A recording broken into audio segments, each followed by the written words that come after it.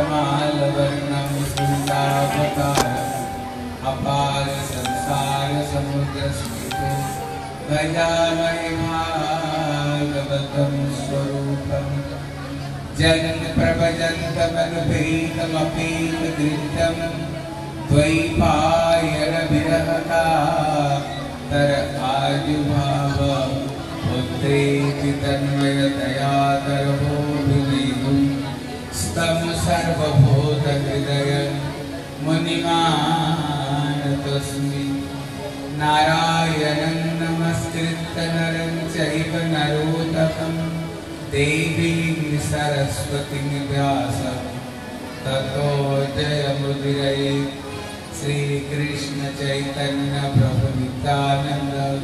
श्री अद्वैतगदाधर श्रीवासादि गौरभक्तवृन्द सौभाग्य बोल हरे कृष्ण हरे कृष्ण कृष्ण कृष्ण हरे हरे हरे राम हरे राम राम बोल हरे कृष्ण हरे कृष्ण कृष्ण कृष्ण हरे हरे हरे राम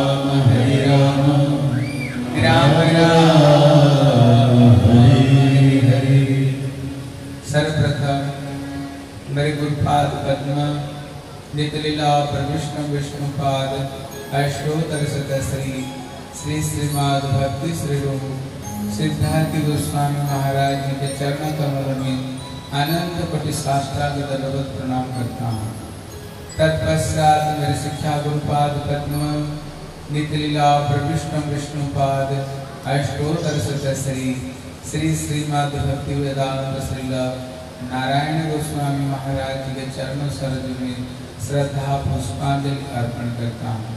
उपस्थित वैष्णव, वैष्णवी माता पिता बहन सभी को चरण में यथाजत प्रणाम करता हूँ। गत कल हम लोग श्रवण कर रहे थे, कृष्णा कैसे मथुरा में कंस के कारागार में प्रभु आविर्भाव हुए भगवान वहाँ पर जन्म नहीं भगवान वहाँ पर आविर्भाव हुए। तो आविर्भाव जन्म में कुछ फ़र्क है। जन्म कहते हैं, जैसे एक माता एक बच्चे को स्वाभाविक रूप में गर्भ से जन्म देती जन्म के बाद बच्चे का नाड़ी में जन्म होती है। नाड़ी काटते कि नहीं? नाड़ी काटी जाती है। लेकिन मथुरा में ये सब नहीं हुआ है। कृष्ण वहाँ पर चतुर्भुज रूप में दर्शन दिए। देख करके बोले, देखो, मैं एक छोटा बच्चा बन जाऊँगा। और मेरे को लेकर के गोकुल में रखना और वहाँ से एक बेटी को ले आना। इतना बोल करके भगवान झट एक छोटे बच्चे बन गए। इसलिए वहाँ पर भगवान प्रकट हुए जन्म नहीं हुए फिर कहा जन्म लेते हैं? कहते कृष्ण गोकुल में जन्म लेते हैं। इसलिए बोले, नंद के आनंद भयो जय कन्या लाल। किसका आनंद भयो? है वसुदेव का नहीं बोले नंद के आनंद भयो। है? इसलिए भगवान इस जगत में क्यों आविर्भाव होते हैं? जगत में भगवान इस जगत में क्यों जन्म लेते हैं? तब हमारा टीकाकारों ने इसके पीछे बड़ी बड़ी रहस्य बताए। कम से कम दस कारण बताए। जगत में भगवान क्यों आविर्भाव लेते हैं। अभी उसका मैं बताऊँगा और कल आपसे सुनूँगा। ठीक है? मैं देखूँगा कौन बच्चे बोलता है। ठीक है ना? अच्छे तरह से याद रखना। कल तुम सब बच्चों को पूछूँगा अच्छे तरह से याद रखना। एक कारण है, बोले, जदा जदाई धर्मस्य ग्लानिर्भवति भारत।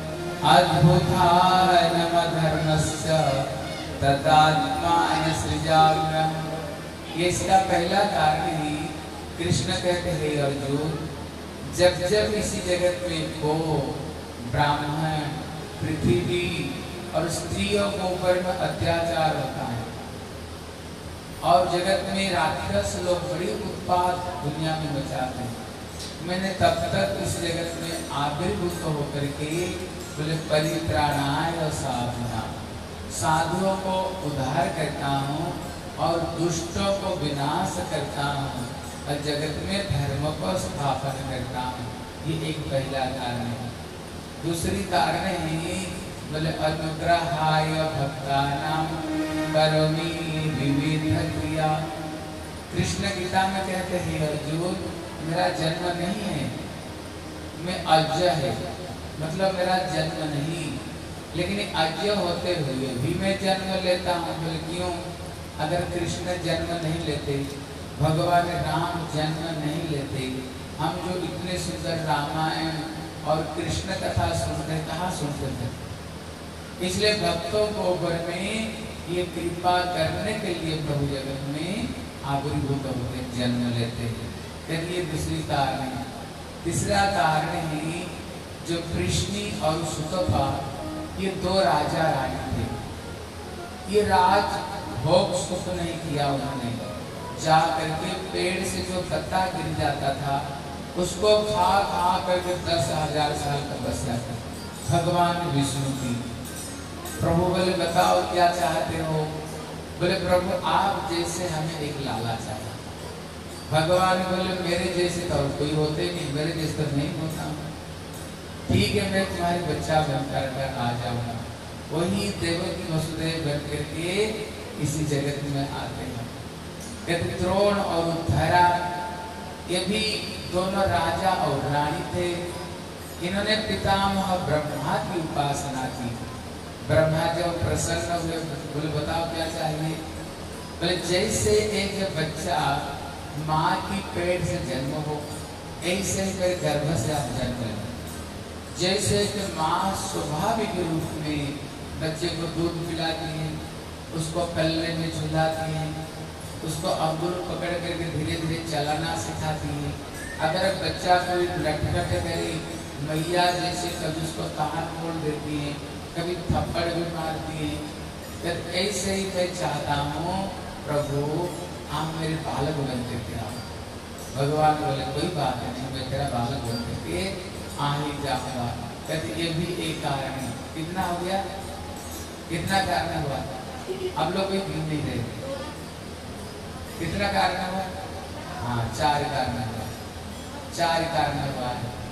इसका पंचमा कारण बताइए, जिस समय भगवान राम अयोध्या श्री जनकपुरी में गए, विश्वामित्र जी से बोले गुरु जी हमें आदेश दो। थोड़ी सी ये जन को पूरी दर्शन करके आए बोले, दर्शन देना नहीं, दर्शन दे करके आओ। दर्शन करना नहीं, दे करके आओ।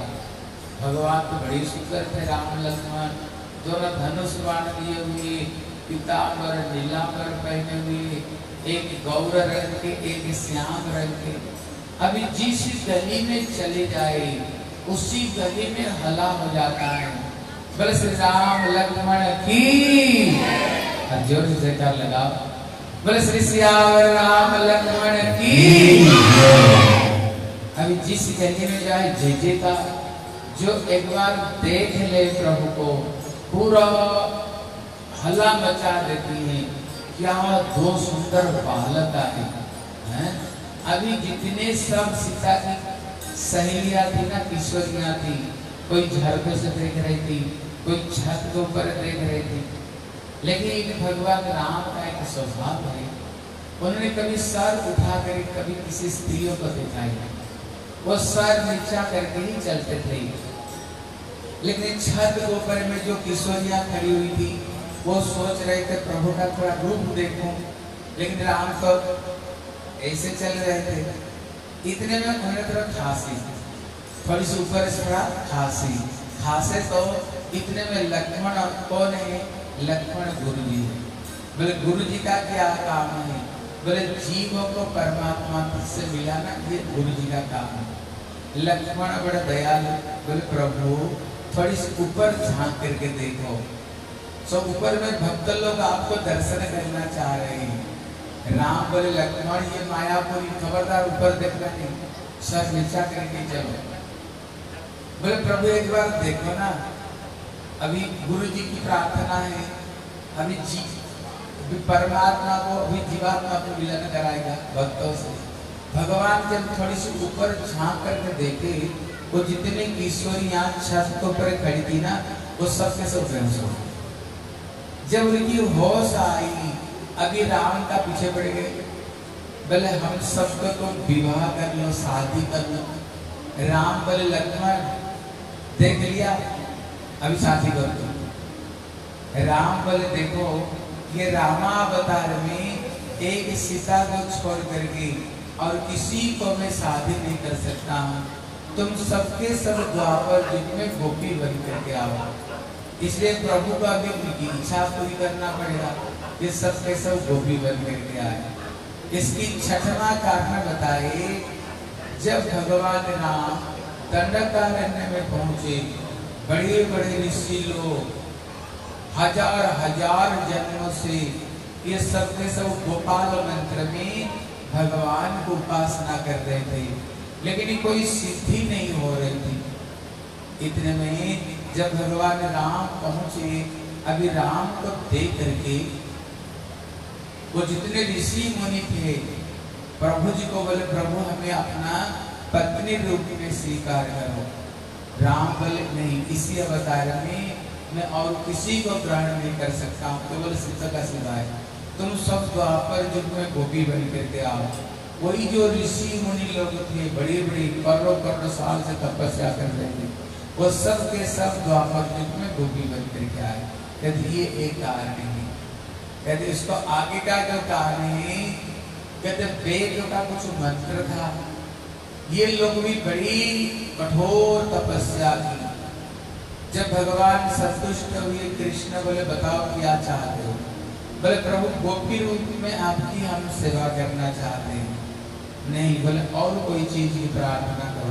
बोले, नहीं, हमें तो यही चीज़ चाहिए। बोले, ठीक है, तुम सबके सब वृंदावन में गोपी बन करके आओ।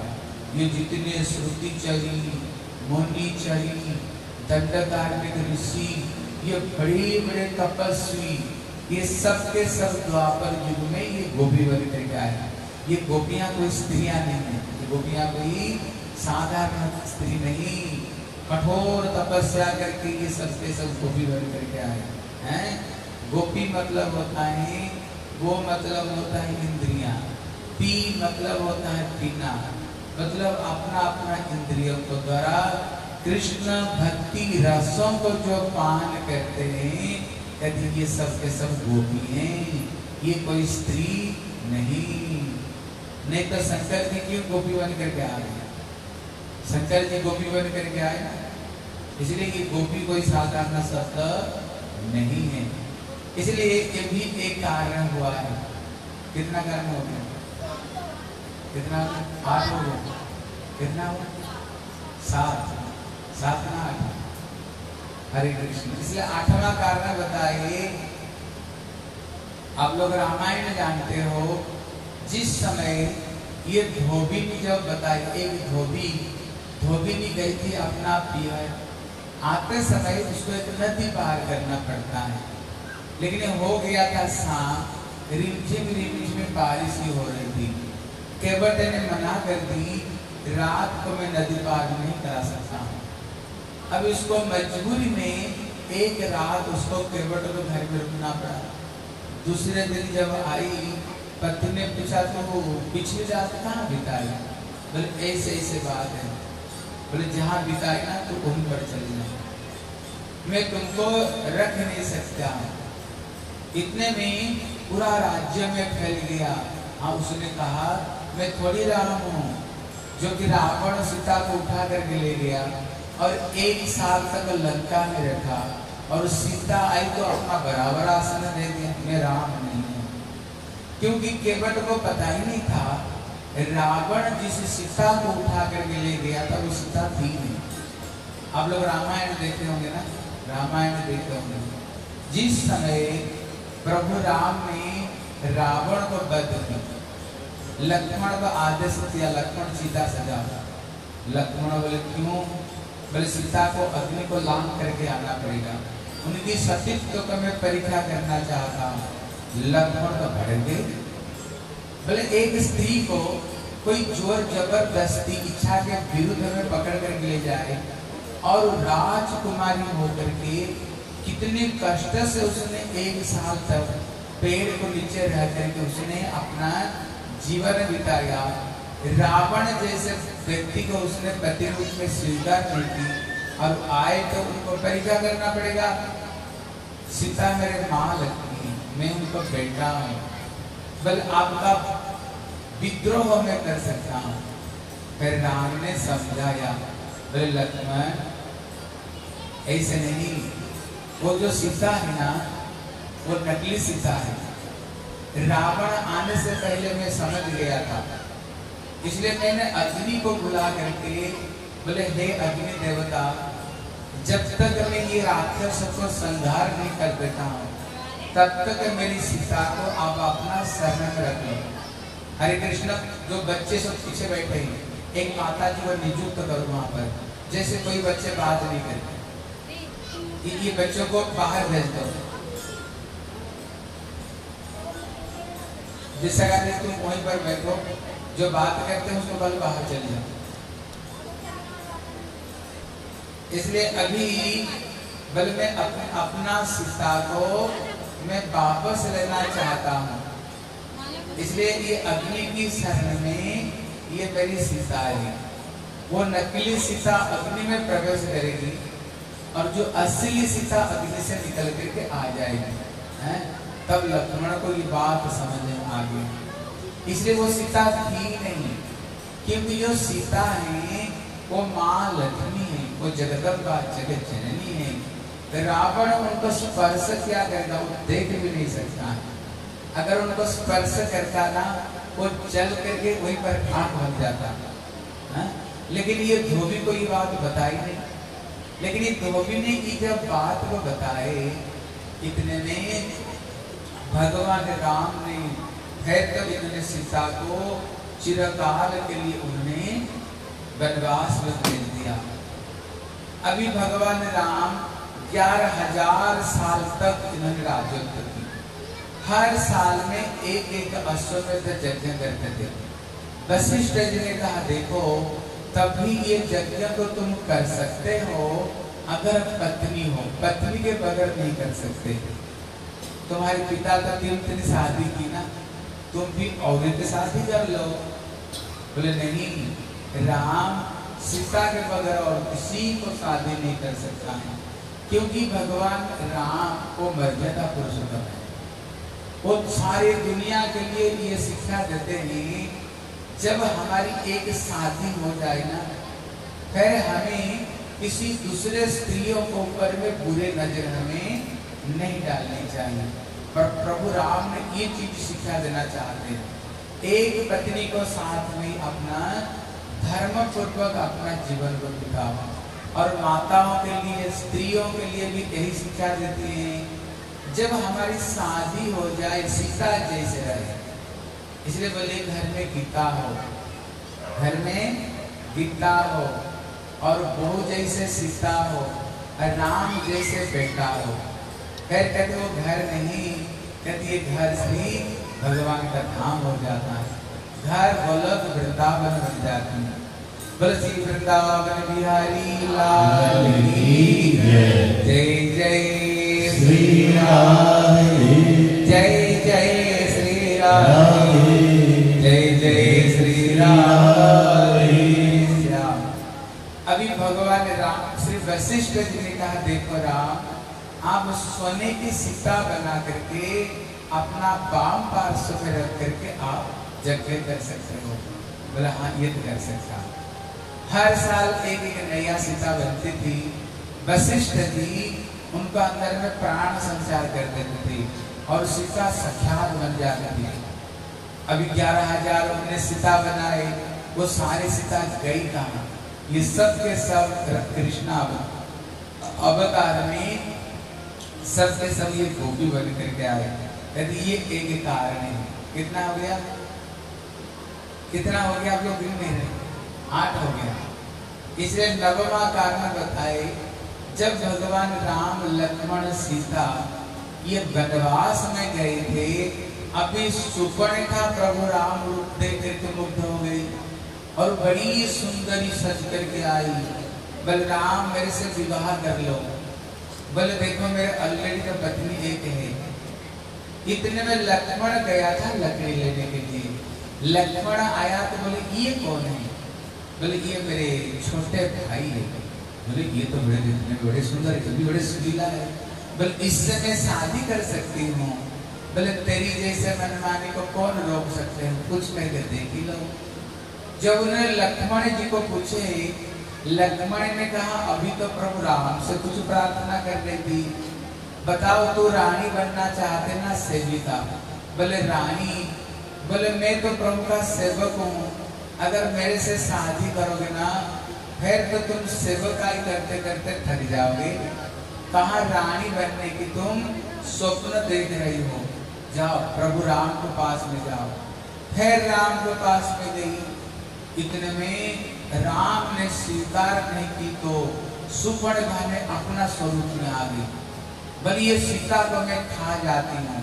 इतने में प्रभु राम ने लक्ष्मण को इशारा की, लक्ष्मण उसकी नाक और कान काट दिए बोले, नाक कान क्यों काट दिए लक्ष्मण गुरु है। गुरु का काम है शिष्य को भगवान को साथ में मिलन कराना।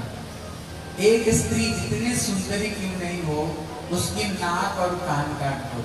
ये जगत में उसको कोई फिर पूछेगा? उसको जगत में कोई नहीं पूछेगा बल केवल तो राम ही बन करके रहो और किसी की नहीं। वही फिर द्वापर युग में फिर बन करके आती है, ये पूजा बन करके आती है। और जिस समय भगवान कृष्ण पहुँचे मथुरा में, वहाँ पर भी पूजा भगवान बड़ी सुंदर उन्होंने चंदन के श्रृंगार चंदन का श्रृंगार की तो चंदन के श्रृंगार की तो सखावन का कन्या, तू केवल लेना ही जानते हो, देना ही नहीं जानते हो। बोले, क्यों?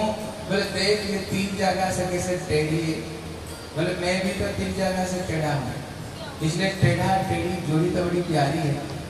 हा? जोड़ी बड़ी प्यारी है। इतने में बोले कन्या सीधा कर दो। इतने में कृष्ण एक प्यार में एक प्यार रखे। कमर में एक हाथ लगाए और थोड़ी पर एक हाथ रख करके एक झटका मारे तो सीधा वो सबका हो वो अपूर्व सुंदरी बन गई। है, अपूर्व वो सुंदरी बन गई। बन करके जब अपना रूप को उसने देखी, क्या अद्भुत रूप, काम में विभोर हो गई। इतने में कृष्ण के दोपटा को पकड़ ली, बोले, कृष्ण, ये सुंदर स्वरूप तुमने दिए हो। तुम ही उसको उपभोग कर सकते हो। बोले, तेरे को शर्म नहीं लग रही? सामने दाऊ जी जेठ खड़े हुए और तू पकड़ पकड़ कर खेच रहे जब श्री कंस को उद्धार करके फिर तेरे घर में मैं आऊँगा। फिर भगवान उसकी इच्छाओं को फिर पूरी की नवमा कारण हो गया। दसवा कारण बताए, कल भगवान बामन रूप में जब आए, बलि महाराज की एक बेटी थी, जिसका नाम थी रत्नमाला। कहते, माताओं का एक स्वभाव है किसी सुंदर बच्चे को देख लेना, इच्छा करता है, इसको गोद मिले और उसको प्यार करें। भगवान वामन देखो तो बड़ी सुंदर बन करके आए थे। अभी इनकी बेटी की मैंने इच्छा हुई मेरे ऐसे एक बेटा होता ना, तीन भर उसको गोद में लेकर के मैं प्यार करती भगवान सभी की इच्छा को ठाकुर जी पूरी करते हैं। बोले, कोई चिंता नहीं, मैं तेरे बेटा बन कर ही आ जाऊँगा, हैं? बेटा बन करके आ जाऊँगा। लेकिन जब उन्होंने दो पग में सब कुछ ले लिए, तीसरे पग रखने के लिए कोई स्थान नहीं। बोले, बताओ, चरण कहाँ पर रखते? उन्होंने गौरव जी को बुला करके उनको बाँध डाले। अभी वो बेटी सोच रही है, ये तो बड़ा दुष्ट है। एक तो मेरे पिताजी का सब कुछ हड़प लिया, फिर पिताजी को नाक पास बंधन में बाँध भी दिया। बोले, अगर तू मेरे बेटे बन करके आओगे ना, तेरे को मैं दूध क्या पिलाऊँगी? तेरे को मैं जहर पिलाऊँगी। वही उतना मैंने देखा है ठाकुर जी उसका स्तन और ठाकुर जी पान किया कितना कारण हो गया? हो गया दस कारण है फिर कल आपसे सुनूँगा ठीक है? मैं देखूँगा। कम से कम एक एक कारण सब बताना।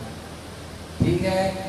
श्री वृंदावन बिहारी लाल की जय जय श्री राम। जय जय श्री राम। जय जय श्री राम। अभी हम कथा सुनेंगे। कृष्ण गोकुल में नंद के लाला होकर कैसा है। क्या श्री नंद बाबा जी की जो पिताजी थे, उनका नाम था परजन बाबा। उनके पाँच बेटे थे। उपानंद, सुनंद, नंद, अभिनंद और नंद। अभी पहले नियम यही होता था, चार वर्ण और चार आश्रम। चार आश्रम ही पहले हर व्यक्ति अभी जैसे स्कूल, कॉलेज में पढ़ते हैं सब पहले गुरुकुल भी जाते थे। वहाँ 25 साल पढ़ाई करते थे। जब 25 साल समाप्त हो जाती थी, गुरुजी प्रश्न करते थे, बोले, बेटा, अभी बताओ क्या करोगे?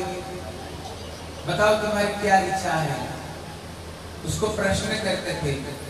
जिसने गुरु गृह में रह करके उसको ये पता चल जाता था, भगवान हमें ये जो मानव शरीर दिया है ये चौरासी लक्ष जन्मों के बाद में है।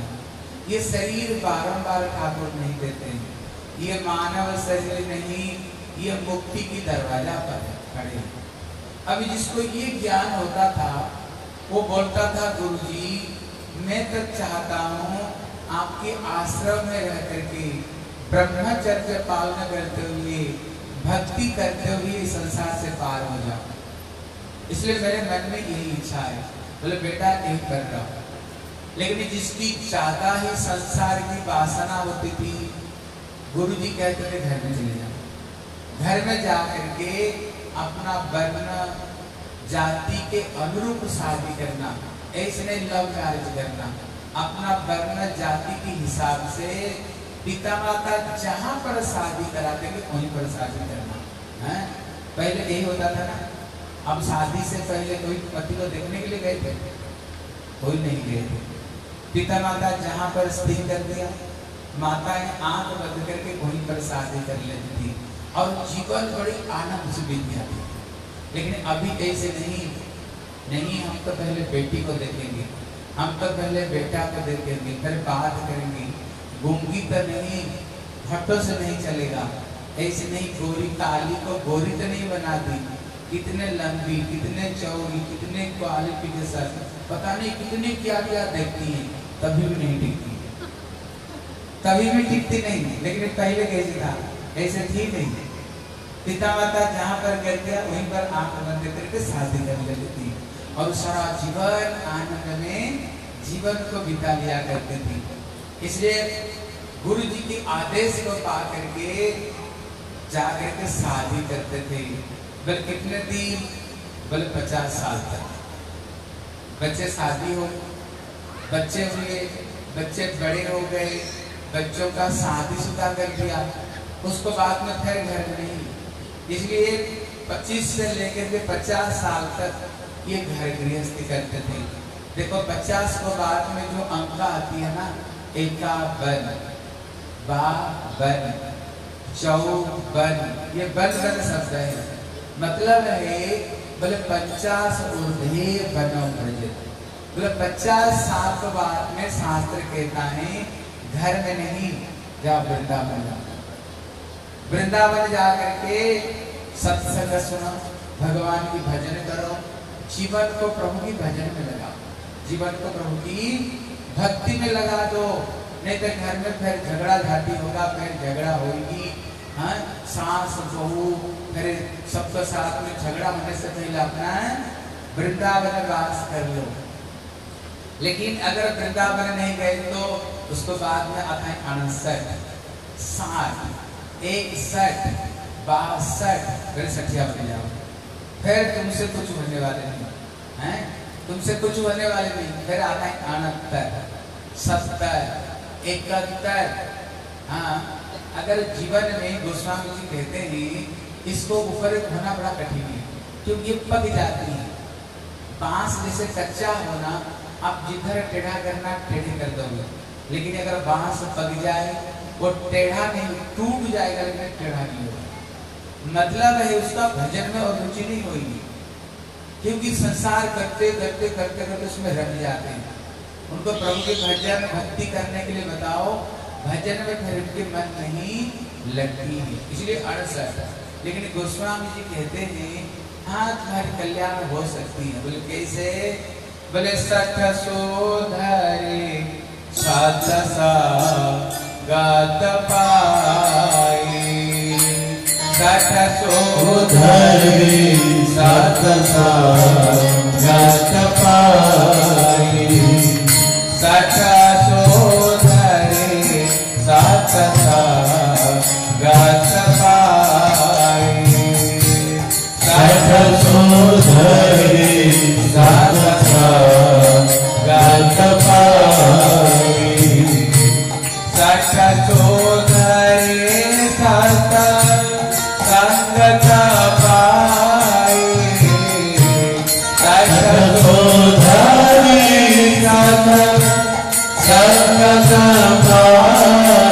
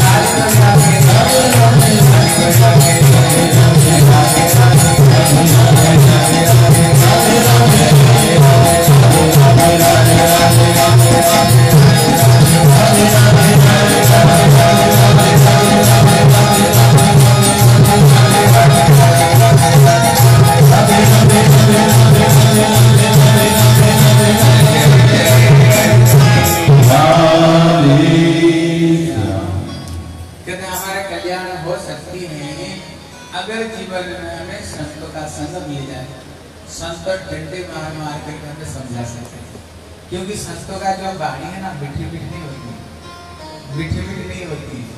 भागवत में बताया जैसे तलवार होता है ना। ऐसे उनकी वाणी तलवार होती क्यों? नहीं तो जीव सुधरने वाले, मीठी मीठी बोलो ना, वो सुधरने वाले नहीं है। इसलिए बच्चे जब उल्टा पुलटा करते भैया थप्पड़ मारती है। जब समझाते हुए नहीं मारती मैया कहते थप्पड़ फिर मारती है।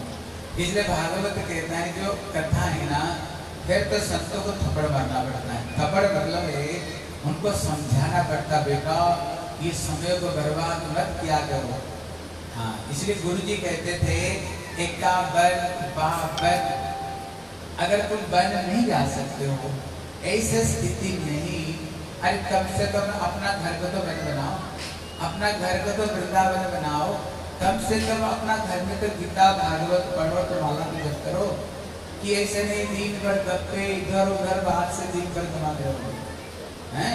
इसलिए अभी श्री परिजन बाबा की उम्र हो गया पचास साल। एक दिन उन्होंने पूरा सारे बच्चों को बुलाए बोले, देखो बच्चों, मेरी उम्र पचास साल हो गई और हमें जान बुझ करके ये माया संसार में हमें नहीं रहनी चाहिए। अभी हमें भजन करने के लिए वृंदावन जाना देखो, सबसे मेरा जो बड़ा बेटा श्री रूपानंद है, इसको मैं राज सिंहासन में बैठा करके मैं भजन करने के लिए जाना चाहता हूँ। बच्चे लोग बोले, पिताजी, कोई बात नहीं, आप दोनों पति पत्नी बाहर प्रस्थ में जाओ भजन करने के लिए। लेकिन जो बड़ा बेटा, बोले, मैं बड़ा बेटा होने पर भी मैं राजा बनने का योग्य नहीं। राजा बनने का योग्य श्री नंद बाबा अब इन्हीं को ही राज्य राज सिंहासन में बैठा। सब प्रजा लोग बड़ी प्रसन्न हो गए। यदि ये बच्चे को लेकर पीछे बैठो, आगे नहीं। फिर कथा नहीं सुनोगे, दूसरे को सुनने नहीं दो लेकिन पीछे बैठो, जाओ, पीछे जाकर कोई बात नहीं जो राधा रानी के ले आना फिर आप भी नहीं सुनोगे, इधर भी कथा करनी नहीं करोगे पीछे ले जाना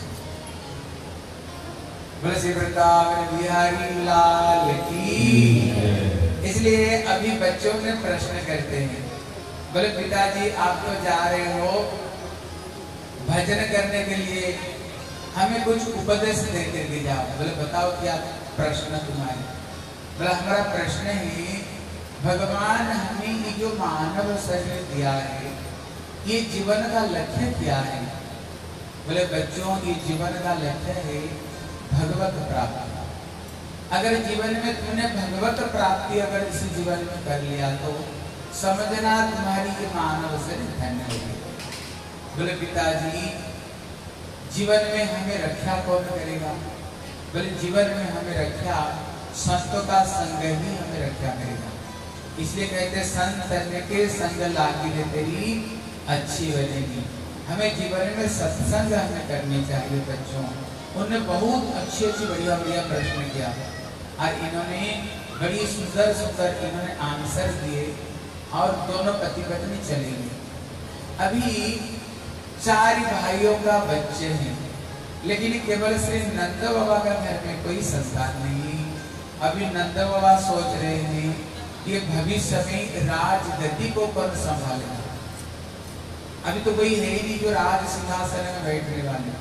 इसलिए उन्होंने कितने तीर्थाटन किया, यज्ञ किया, तपस्या किया, घर में किसी तरह से एक बालक की जन्म हो जाए। लेकिन अभी कोई बालक घर में है नहीं, अभी धीरे धीरे धीरे उम्र बीतती जा रही है। बच्चों होने का उम्र बीतती जा रही थी। एक दिन ब्रज में कुछ साधु लोग आए, बड़े भजन परायण संतान। बोले, नंद बाबा को समझाए, बोले, नंद बाबा, जो ना करे लकड़ी कहते, सो करे फकरी लकड़ी मतलब होता है भाग्य। तुम्हारी भाग्य में जो चीज़ें है नहीं, फकरी मतलब होता है भक्त, संत। अगर कोई शुद्ध संत, अगर कोई बात बोल दे कभी कभी भगवान अपना प्रतिज्ञा को तोड़ करके संतों का प्रतिज्ञा को रक्षा करते हैं। संत सेवा की बड़ी महिमा है। उन्होंने बड़ी महिमा संत सेवा की बताई। देखो भागवत का दसम स्कंध में कथा की बोले, एक समय कृष्ण के बच्चे खेल रहे थे। खेलते खेलते हठात एक कुएँ को अंदर में एक गिरगिट को उन्होंने देखा। अभी बच्चों ने कोशिश की उसको निकालने के लिए, क्योंकि वो कुआ था, छोटा और गिरगिट था, बच्चा बड़ा था। वो ऐसे फंसा हुआ था, स्वास्थ्य को ले नहीं पाता था इतने में कृष्ण की बच्चों ने बड़ी कोशिश की, लेकिन उसको अंदर से नहीं निकाल पाए। जा करके कृष्ण को बुलाए, बोले, पिताजी पिताजी, जल्दी जल्दी आओ, देखो देखो, बोले, क्या बात है? बोले, इसकी अंदर में एक गिरगिट पड़ा हुआ है। वो निकल नहीं पा रहा है, बड़े छटपट कर रहा है। कृष्ण सब जानते हैं। उन्होंने अपना चरण को जो बढ़ाया, वो चरण का स्पर्श होने का साथ साथ वो गिरगिट बड़ी सुंदर एक देवता रूप धारण किया। कृष्ण के बच्चे तो आश्चर्य पड़ गए। कृष्ण ने पूछा, आप कौन हो? ये गिरगिट क्यों बने हुए थे? बोले, प्रभु, आप तो दुनिया का मालिक आप क्या नहीं जानते आप तो घर निवासी हो। जब आप पूछ रहे हो, मैं बता रहा हूँ, आपने कभी सुना सत्य युग में एक नृग नाम का राजा हूँ? बच्चों ने कहा ये पृथ्वी में तो सबसे बड़े दानी है। कहते पृथ्वी का बालू कणा को कोई गिन सकते हैं। बारिश का बूंद को कोई गिन सकते हैं, लेकिन इनके दान को कोई नहीं गिन सकते हैं। जो गैया केवल एक बछड़ा जन्म दिया, उनका सींग को सोने में मढ़वा करके, खूर को चांदी में मढ़वा करके उन्होंने दान किया था। बोले गड़बड़ी क्या, किस चीज़ की हुई? मतलब मैंने संकल्प करके एक ब्राह्मण को मैंने एक गैया दान लेकिन वो गैया कैसे वहाँ से भागते हुए और जो हमारी गैया थी कैसे उसमें मिल गई? मेरे को पता नहीं चला, फिर मैंने संकल्प करके और किसी ब्राह्मण को दे दिया। अभी वो ढूंढते ढूंढते आ रहा था, ये ब्राह्मण उसको लेकर के जा रहा था। अभी दोनों के बीच में साक्षात्कार हो गई पहले जिसको गैया दिया था बोले गैया, मेरी है बोले तेरी कैसे राजा, अभी मेरे को संकल्प करके दिए। बोले, कल मेरे को दिए थे, अभी मेरी तेरी करते करते राजा के पास में आया। राजा देखा, मेरी अपराध हो गया, अनजान उन्होंने दोनों ब्राह्मण को चरण में गिर पड़े। बोले, एक काम करो, एक व्यक्ति ले लो, दूसरे छोड़ दो, इसकी विनिमय में मैं दस गैया दूँगा। बोले, नहीं मेरे को यही गैया चाहिए। बोले सौ बोले, नहीं, हज़ार बोले, नहीं, लाख बोले, नहीं, बोले, करोड़ बोले, नहीं, हमें तो यही गैया चाहिए। अब दोनों बात पर अड़ गई लास्ट में झगड़ा करते हुए बोले, तुम गिरगिटी जैसे रंग बदला रही हो। तेरे को गिरगिटी बनना पड़ेगा। अभी मरने का बाद अभी कहीं जमपुरी में चित्रगुप्त को जम महाराज बोले, इसकी काफ़ी खोलो। कितने पुण्य और कितने पाप किया। बोले, महाराज, इनकी पुण्य की कोई सीमा नहीं। लेकिन इनकी अनजान में ये एक पाप भी हो गई थी। पूछे बताओ, पहले पाप लोगे ना, पुण्य लोगे? बोले, पुण्य तो है ही है। लेकिन अगर पाप थोड़ी सी, मेरे को मेरा पाप दे, बोले, जाओ गिर गिर बन करके जाओ।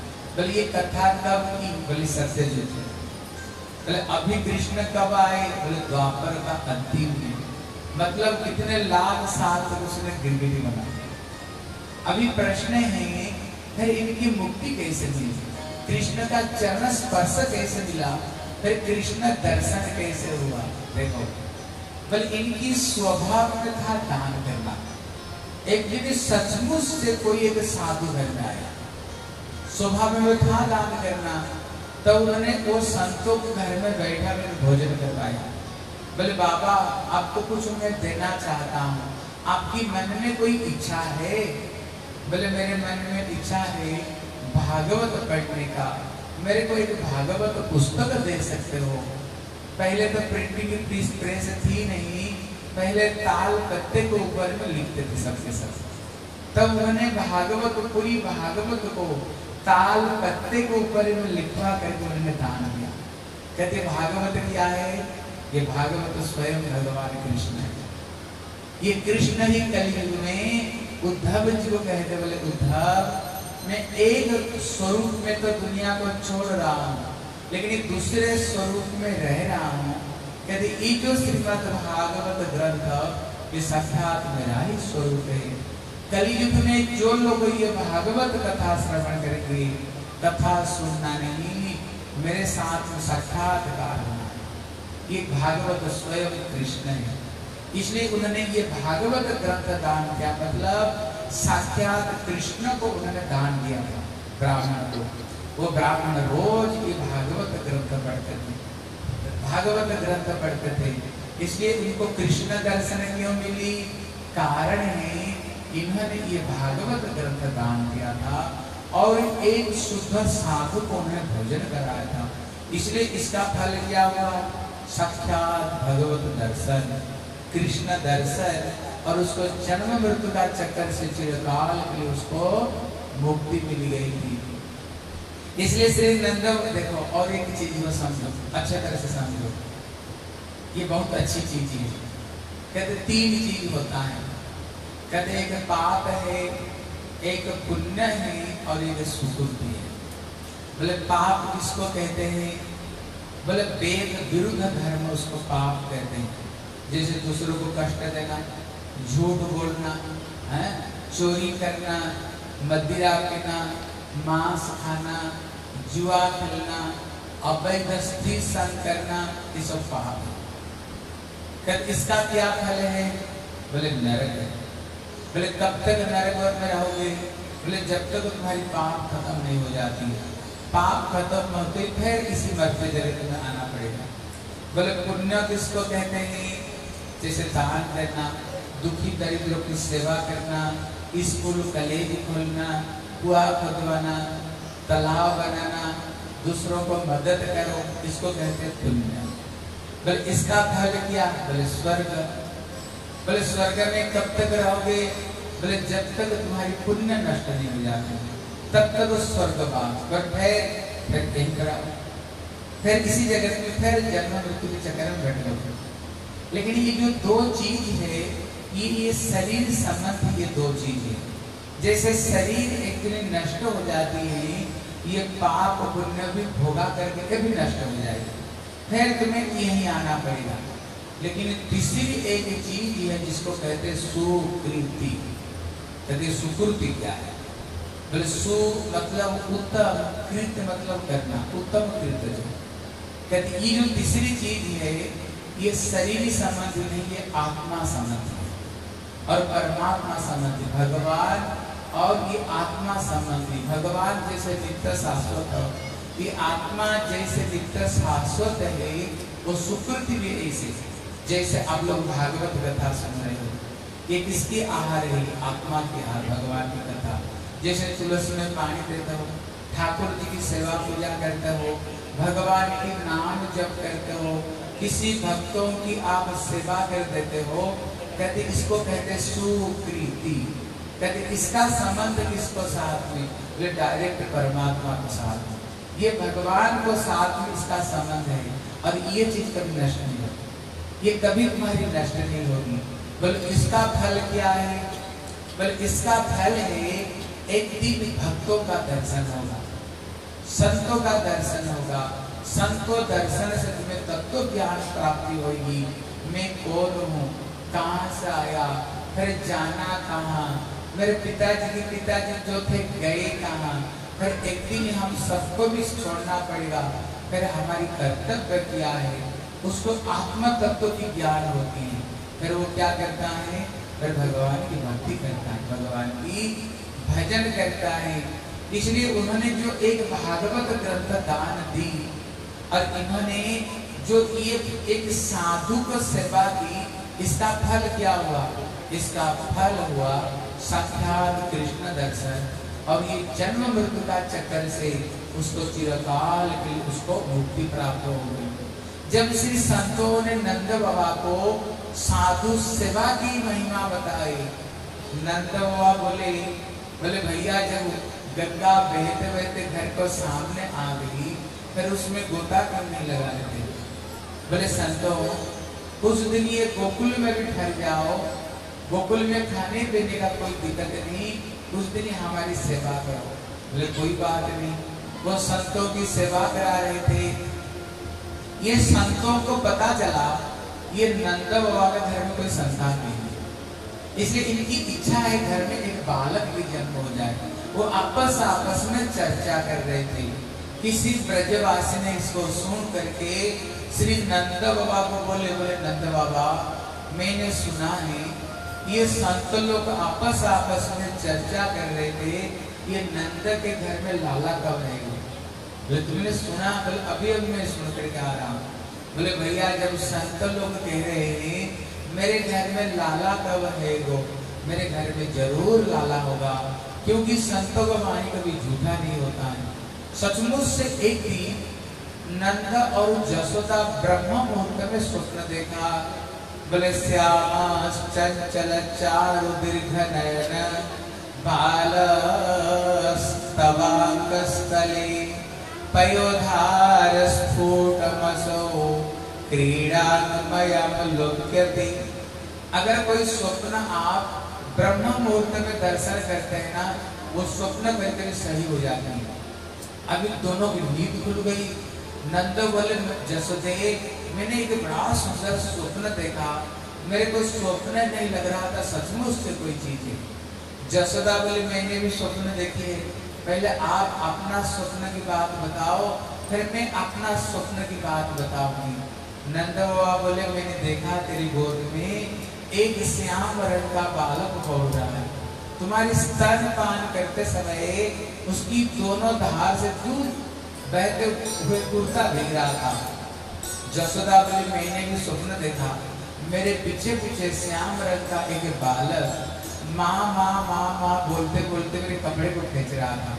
मेरे को स्वप्न नहीं लगा, सचमुच से कोई बालक है और उसी रात कोई मैया जसोदा गर्भ धारण की और ब्रज में हला हो गया। मैया जसोदा की उम्र बीत गई थी, कोई संतान का कोई चांस नहीं था। एक उम्र होता है ना, उसको बाद में फिर कोई बच्चा नहीं होता है। लेकिन देखो, ये साधुओं का कैसे आशीर्वाद है मैया जसोदा कैसे गर्भ धारण की? हर ब्रज में जितने गोपियाँ थी ना, चौरासी चौरासी गज लहंगा छह छह महीना पहले बना कर रखे अब इधर आ जाओ, खाना खाते हुए इसलिए छह छह महीना पहले उन्होंने चौरासी चौरासी गज लहंगा बना करके रखे और चुंदरी बना करके रखे। हम इसको पहन करके हम लाला की जन्म महोत्सव में हम जाएँगे। और जितने गोप लोग थे बगल बंधी धोती पगड़ी बना करके रखे। बोले हम इसको पहन करके हम बधाई देने जाएँगे। अभी भगवान कृष्ण जन्म होने वाले हैं। ठाकुर जी अभी जन्म होने वाले हैं। अभी तो मस, मसीने निकल गया। पहले से ही पता चल जाता है अगर बेटी हो तो मार दो और बेटा हो रखो हैं? लेकिन पहले ये बड़ी बुढ़िया कुछ चिन्ह से बता देती थी। एक बड़ी बुरी गोपी बोली, मैया, जसोदे लगता है तेरे गर्भ में बेटा होने वाला। बोले, पता कैसे चला? बोले, तेरी जो होठ है ना, वो पीला पीला दिख रहा है। मतलब तेरे पेट में बेटा है। एक बड़ी बुढ़ी गोपी बोली, बोले, तुमने कुमारी पड़े में जुड़मा केले तो नहीं खा ली थी? बोले, क्यों? बोले लगता है, तेरे पेट में दो बच्चे हैं। कृष्ण और जोगमाया, दो बच्चे थे। गर्भ में बच्चे रहते समय माता को चटपटी चीज़ें अच्छी लगती है। अभी मैया बोली, मेरे मन में तो खीर खाने की इच्छा हो रही है। बड़े सुंदर, हैं? खीर बना करके घी डाल करके घर में जो सालक राम को उन्होंने भोग लगवाया, भोग लगा करके मैया यशोदा को खाना खिलाया। हाँ देखो माताएँ ध्यान देकर सुनो कहते एक होता है गर्भ संस्कार। गर्भ संस्कार का मतलब है, जब गर्भ में बच्चा रहे अगर माताएँ गीता भागवत पढ़े, भगवान के सुंदर सुंदर उनको छवि दिखाया जाए क्योंकि जो चीज़ वो दर्शन करती है, वो गर्भ के ऊपर अच्छा इंप्रेशन आता है। गर्भ में अच्छी असर आती है। मैया जसोदा की भगवान की सुंदर सुंदर तस्वीर उनको दिखा रहे थे। और गर्भ में बच्चे रहते समय अगर माता जी भगवान की कथा सुनती है, वो बच्चा बहुत बड़ा ज्ञानी बनकर करके आएगा आप लोग लवकुश अब रामायण में लवकुश का जीवन देखे होंगे। जब माता सीता गर्भवती थी, भगवान राम एक दिन सारी संत समाज को उन्होंने बुलाए, अयोध्या और वहाँ पर सत्संग हुई और सीता के लिए भी एक आसन रखे। राम बोले, सीते, तेरे को पता है, आज हमने ये संतों को क्यों बुलाया? ये सत्संग क्यों होगी बोले, क्यों? बोले, अभी तेरे गर्भ में बच्चे हैं। अगर तुम सत्संग सुनोगे ना, ये बच्चा बड़ी ज्ञानी बनेगा और बड़े बलवान बनेगा। आप लोग लव कुछ देखते होंगे, दोनों बच्चे क्या तेजस्वी बने।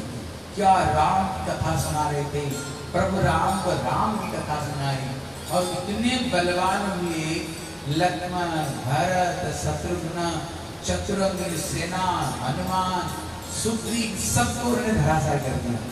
इतने बलवान बने, इसलिए नियम है ये बच्चे का जो संस्कार माताओं को देनी चाहिए अगर इसलिए माताएँ गर्भ में बच्चे रहते हुए, ये गंदी गंदी जो पिक्चर है ना, ये सब पिक्चर को नहीं देखनी चाहिए, है? क्योंकि बच्चे के ऊपर में बड़ी बुरा असर पड़ता है, बड़ी गंदी असर पड़ता है। आप देखना कोई कोई बच्चे तो बड़े आज्ञाकारी होते हैं, और कोई कोई बच्चे एकदम बात नहीं सुनते, बोले क्यों? बोली माताओं की दोष गर्भ में बच्चे रहते समय अगर हम भगवान की भक्ति, भजन, पूजा पाठ करेंगे, तभी वो बच्चे संस्कार करके आएँगे। देखो, एक संत कह रहे थे, जैसे आपके गर्भ में बच्चा है, अगर आपने ये तुलसी परिक्रमा किया है, लेकिन पेट में बच्चा है, उसको क्या हो गया? उसको भी तुलसी परिक्रमा हो गया आपने भगवान को प्रणाम किया। अभी तुम्हारे पेट में बच्चा है जब तुमने प्रणाम की, बच्चे का भी ठाकुर जी को प्रणाम हो गया। जैसे आप बैठ करके कथा सुनोगे गर्भ में बच्चा है, पेट में बच्चा भी है, पेट में बच्चा भी है, वो भी बैठ कर कथा सुन रहा है। इसलिए आप लोग प्रहलाद का चरित्र में आता है। जब प्रहलाद जी बच्चों को बड़ी सुंदर सुंदर ज्ञान की बात बताए, बच्चे कह रहे हैं, प्रहलाद जी, ये बताओ, हम सबका गुरु तो संधा मर गए लेकिन तुमने जो हमें इतने अच्छे अच्छे ज्ञान की बात बताई, लेकिन हमारे गुरु जी तो इस बात बताए नहीं। फिर तुमने इस बात कहाँ से बता रहे हो? प्रहलाद कहता है, मेरे जो पिता, मेरे जो गुरु है ना, ये नारद जी। जब मैं जब मैं माँ की पेट में था, ये नारद जी को आश्रम पर मेरी मैया ने और नारद जी बड़ी सुंदर सुंदर कथा सुनाया करते थे। और मैं पेट में बैठी बैठी करके सारी कथाओं में पेट में बैठी बैठी करके मैं सुनता था, मैया तो भूल गई, लेकिन मैंने ये कथा नहीं भूला। इसलिए मेरे को सब कुछ बात याद है। देखो, गर्भ संस्कार कितने बड़ी संस्कार है। इसलिए गर्भ में बच्चे रहे तो हमें भगवान की भक्ति करो, बच्चे बड़े अच्छे बच्चे के आएँगे एक बार हाथ उठा कर बोलो बोल हरे कृष्ण हरे कृष्ण। कृष्ण कृष्ण हरे हरे हरे राम हरे राम। राम राम। हरे हरे। और एक बार सबके सब ज़ोर से बोलो। देखो ये अधिक महीना ना ये पुरुषोत्तम महीना। एक बार नाम लोगे ना सौ बार नाम लेने का तुमको फल मिलेगी। अब ये पुरुषोत्तम महीना में जो कथा सुन रही है इसकी इतने पुण्य इतने पुण्य है तुम सोच भी नहीं सकते हो। सोच भी नहीं सकते उसी महीना में। इसलिए आपको हम बारम्बार कागज़ का नाम करवाते हैं। क्यों? एक नाम से सौ नाम करने का बल मिलेगा। इसलिए ज़ोर ज़ोर से बोलो। बोलो हरे कृष्णा हरे कृष्णा कृष्णा कृष्णा हरे हरे हरे राम।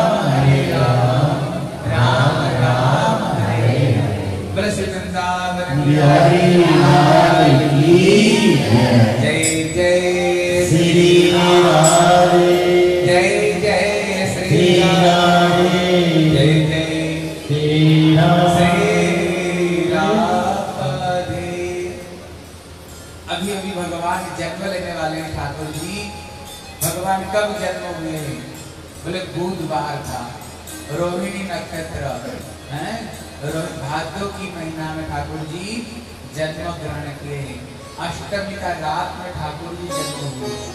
जब भगवान अभी जन्म लेने वाले कद विशेष करके आकाश में जब काला मेघ छा जाए, चार लोग विशेष करके प्रसन्न होते हैं। बोले, चार लोग कौन है? बोले, पहला व्यक्ति किसान खुश होता है। बोले, किसान क्यों खुश होता है? बोले, खेती उन्होंने खेती किया है। अगर बारिश नहीं होगा तो क्या? सब खत्म हो जाएगी। बोले, यहाँ पर किसान कौन है? बोले पितामह ब्रह्मा जी, जिन्होंने ये दुनिया को सृष्टि की है। लेकिन राक्षस लोग आकर बड़ी उत्पात मचा रहे थे। लेकिन ब्रह्मा जी ने जब देखा, कृष्ण अभी अवतीर्ण होने वाले, ब्रह्मा जी बड़े प्रसन्न हो गए। दूसरा व्यक्ति खुश होता है मयूर आप देखना, मयूर कब नृत्य करेगा? जब आकाश में काला मेघ छा जाए और बिजली चमकने लग जाए घड़गड़ शब्द होने लग जाए, देखना मयूर वो पग को खोल करके मयूर नृत्य करता है। बल्कि यहाँ पर ये मयूर कौन है बोले नीलकंठ श्री महादेव बोले तीसरा व्यक्ति प्रसन्न होता है श्री दावा नल में दग्ध हाथी। जब जंगल में आग लग जाए ये हाथी को बड़ा कष्ट होता है। हाथी इधर उधर भागता है। लेकिन आकाश में जो मेघ छा जाए, बड़ी ज़ोर से बारिश ही होना तब भी जा करके जंगल की आग बुझ जाती है। कहते ये लोग कौन है? बल, इंद्र, चंद्र, देवता चतुर्थ व्यक्ति प्रसन्न होता है सातक एक चिड़िया है। ये किसी नदी का पानी और किसी तालाब का पानी नहीं पीता है, वो तब भी पानी पिएगा जो बारिश हो। इसलिए वो पक्षी हर समय बोलता है, प्यासा हम प्यासा हम। मेरे को पानी पानी पानी बोलकर चिल्लाते रहता है वो पक्षी। कहती, यहाँ पर कौन चातक बोले ये नारद आदि भक्त वृंद है। कब ठाकुर जी जन्म लेंगे, कब ठाकुर जी के लीला हम दर्शन करेंगे?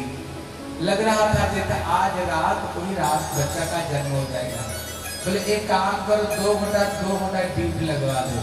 आठ से दस दस से बारह। अभी आठ से दस तक जिनकी ड्यूटी लगवाए, बोले, ये ढोलकी लो और मजरा लो, चिमटा लो। और उसका कीर्तन करते रहो। वो बड़ी सुंदर कीर्तन कर रहे थे। बोले, जियो श्याम लाला, जियो श्याम लाला। तेरी पगड़ी रंग लाला ये श्याम लाला ये श्याम लाला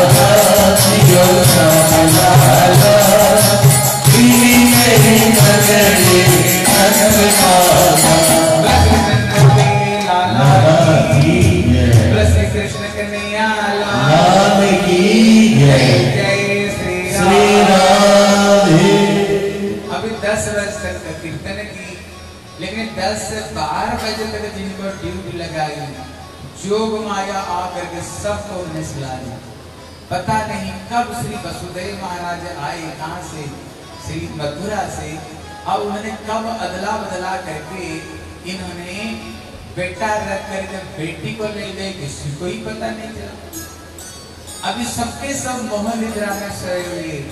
सवेरे सवेरे श्री सुनंदा की आँख खुली। पर ये सबके सब सो रहे हैं। पता नहीं भाभी का क्या हालत है? अभी उन्होंने दरवाज़ा खोल करके देखे, मैया जसोदा की गोद में बड़ा सुंदर श्याम रंग का एक बालक रहा। और वो किलकारी मारते हुए खेल रहा था। पता नहीं कब बालक की जन्म हो गया। और सब सो रहे बोले ये पहला खबर श्री नंद बाबा को देनी चाहिए। फिर मेरे को नवलाख हार मिलेगी। बोले, नंद बाबा, कहाँ ढूंढो? ढूंढते ढूंढते देखा ब्रह्मांड घाट में नंद बाबा बैठ करके माला जप कर रहे थे। वो माला जप नहीं हो रहा था, सोच रहे थे, घर में छोरा कब है को लाला कब है को लाला कब यही सोच रहे थे। इतने में ही सुनता आकर के बोले, भैया, कमाल है गए भाई। इतना बोलते ही नंदवा को छलांग लगा दी बोले बहन ने कहा भैया भाई, पहले बताओ, मेरे को मिलेगा क्या? फिर मैं बताऊँगी। फिर मैं बताऊँगी कहा गए हो बोले, ले, ये नवला की हार में देता हूँ।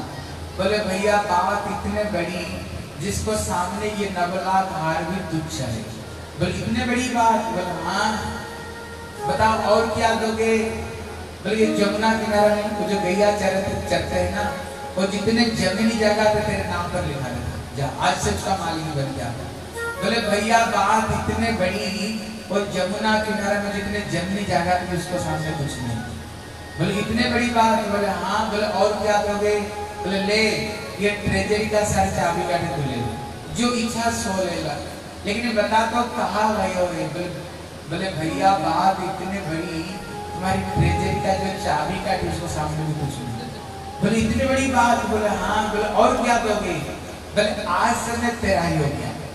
हाँ तेरा ही हो गया जो इच्छा कुछ सो ले लेना लेकिन ये बता तो सही घर में कहा गए हो बोले भैया तेरे घर में लाला भयो है बोले श्री नंद के लाला की और देखा दो। बोले श्री नंद के लाला बोले श्री कृष्ण के नैया जय। जय श्री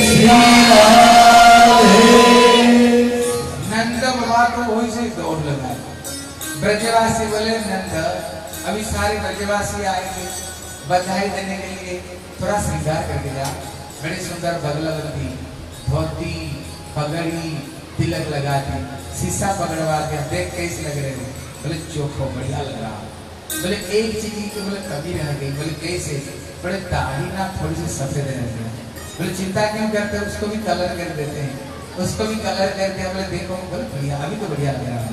बोले, जा, अभी जा करके लाला का मुख दर्शन कर। देखो, नंद बाबा ने कितनी तपस्या, कितने दान, कितने पुण्य किया। घर में एक बेटा का जन्म होगा उनने जीवन में पहला बार जो बेटा का मुख दर्शन की इतने प्रसन्न हो गए। मन मन में उन्होंने संकल्प किया, मैं ब्राह्मण और संतों को बीस लाख गैया में दान दूँगा। और सात, तिल का पर्वत। तिल दान को बड़ी एक शक्ति एकादशी आती है। तिल का बड़े दान की बड़े महत्व है। बोले सात तीन का पर्वत बना करके मैं दान दूँगा। उनने संकल्प उन्होंने कर लिए। बोले, देखो, ये ब्राह्मण और संतों की आशीर्वाद से ये वृद्धावस्था में मेरे को ये लाला मिलो है। पहले ब्राह्मण संतों को बुलाओ। इनसे आशीर्वाद बच्चों को दिलवाओ। संत ब्राह्मण आकर के आशीर्वाद दिए। बोले, स्वस्ति न गोविंद, स्वस्ति न अच्युतानंद स्वस्ति न वासुदेव विष्णुर्दधातु। स्वस्ति स्वस्ति श्री कृष्ण सचिदानंद घन मंगलम भगवान, विष्णु मंगलम बड़े सुंदर स्वस्ति वाचन पढ़ करके बच्चे को आशीर्वाद दिए। बोले, देखो, जाओ। उन्होंने भेज दिया नाई को। ब्रज में पूरा ढिंडरा पिटवा दो। सारे ब्रजवासी बधाई देने के लिए आए। जितने गोपियाँ थी ना, बड़ी सुंदर लड़ झड़ श्रृंगार करके, द्वादश आभरण द्वा- हाँ सोलह श्रृंगार करके आई। कान में बड़ी सुंदर कुंडल पहन करके थी और एक मटके में दूध, एक में दही, एक में मिश्री, एक में घी लेकर के सब के सब जब आ रही थी कान में जो कुंडल थी, बड़े ज़ोर ज़ोर से हिल रहा था। बोले, क्यों? बोले, पहले हमें छोड़ दो। कृष्ण को जा करके हम स्वागत करेंगे। चोटी में जो सुंदर सुंदर फूलों की माला से श्रृंगार की थी, वो एक एक फूल इनके चरण में गिर रहा था। बोले, क्यों? बोले, जो व्यक्ति कृष्ण को बधाई देने जा रही है, इनकी चरण की पूजा हमें करनी चाहिए। है? जितने माताएँ आकर के मैया यशोदा को बधाई दे रही देखो, जितनी यहाँ माताएँ बैठे हो तुम लोग कौन है? मैया यशोदा की दल से। मैं बोलूँगा, मैया यशोदा, बधाई हो। आप लोग बोलना क्या हो? बधाई हो बधाई हो। क्या बोलोगे? थोड़ी सी ज़ोर से बोलना, ठीक है? बोले, मैया यशोदा, बधाई हो। आनंद आया है, आधा है लेकिन कुछ तो बोल रही है और कुछ चुपचाप बैठ रही है। क्या आपका आनंद नहीं आ रही बधाई में हैं? और थोड़ा ज़ोर से बोलो। बोले मैया यशोदा बधाई हो। हाँ, मैया जसका बोली बधाई हो बधाई हो ब्रज की गोपियाँ। ये बूढ़ी उम्र में भी मेरे को लाला को दर्शन मिलो है ये तुम लोग का आशीर्वाद है। और जितनी सब माताएँ थी ना सबके सब आशीर्वाद दे रही थी। बोले क्या बोल रही थी?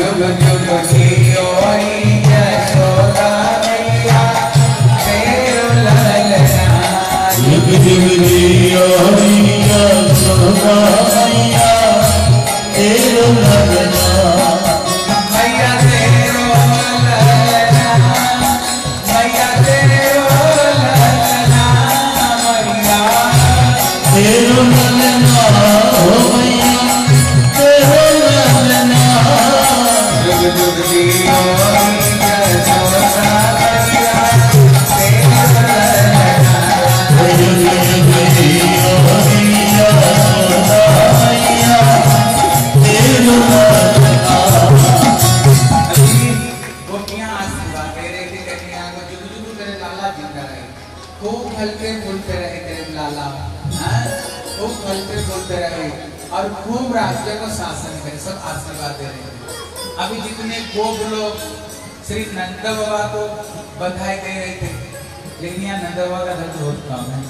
और गोपियाँ की तो ज़्यादा है और नंद बाबा का दल कम है? इसलिए सारे ब्रजवासी जो पुरुष लोग थे, वो भी सबके सब कन्या को बधाई दे रहे थे, आशीर्वाद दे रहे थे। अब सबके सब आ गए, अभी केवल दो व्यक्ति आने में कमी है, कौन है? श्री वृषभहर महाराज कीर्तिका मैया। वृषभहर महाराज कौन है? राधा रानी की पिता और मैया का नाम से कीर्तिका सुंदरी। इनकी अंदर में बड़ी प्रेम थी। ये ब्रज में ये दो राजा है। अभी उनको भी उन्होंने नौता दी। बोले ये दोनों आ जाए तो फिर शुरू होगी उत्सव। देखते देखते दोनों प्रवेश किए। बोले, उत्सव शुरू होनी चाहिए। कीर्तिका मैया बड़ी सुंदर सज करके आई थी। और तीन चार मटकी में दूध, दही, मक्खन मिश्र लेकर के इतने में एक गोप ने क्या किया? डंडे लेकर के वो जो मटकी था ना, वो मटकी को मारी। मारते मटकी तो फूट गई और दूध दही से कीर्तिका मैया को स्नान कर ली। एक दधिकाती होता है। दधिकाती का मतलब है, दही में हल्दी और उसमें घी मिलाते हैं और दूसरों को ऊपर में लगाते हैं। ये मंगलवाची है सबको ऊपर में लगा रहे थे, वहाँ कीच कीच हो गया।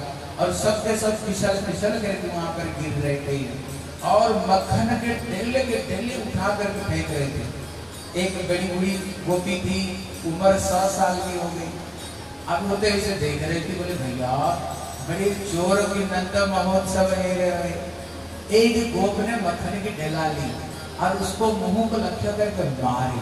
उसको तो एक दांत थी नहीं उसको मुँह में लगते ही ना वो सीधा मक्खन की ढेला अंदर में सटक दिया बोले, भैया नंद महोत्सव में कोई भूखे नहीं रहते हैं हैं? यहाँ पर कोई भूखे नहीं रहते हैं। इसलिए सत्य सब रहे थे बोले, नंद के आनंद भयो जय आनंद के आनंद भयो जय आनंद के आनंद भयो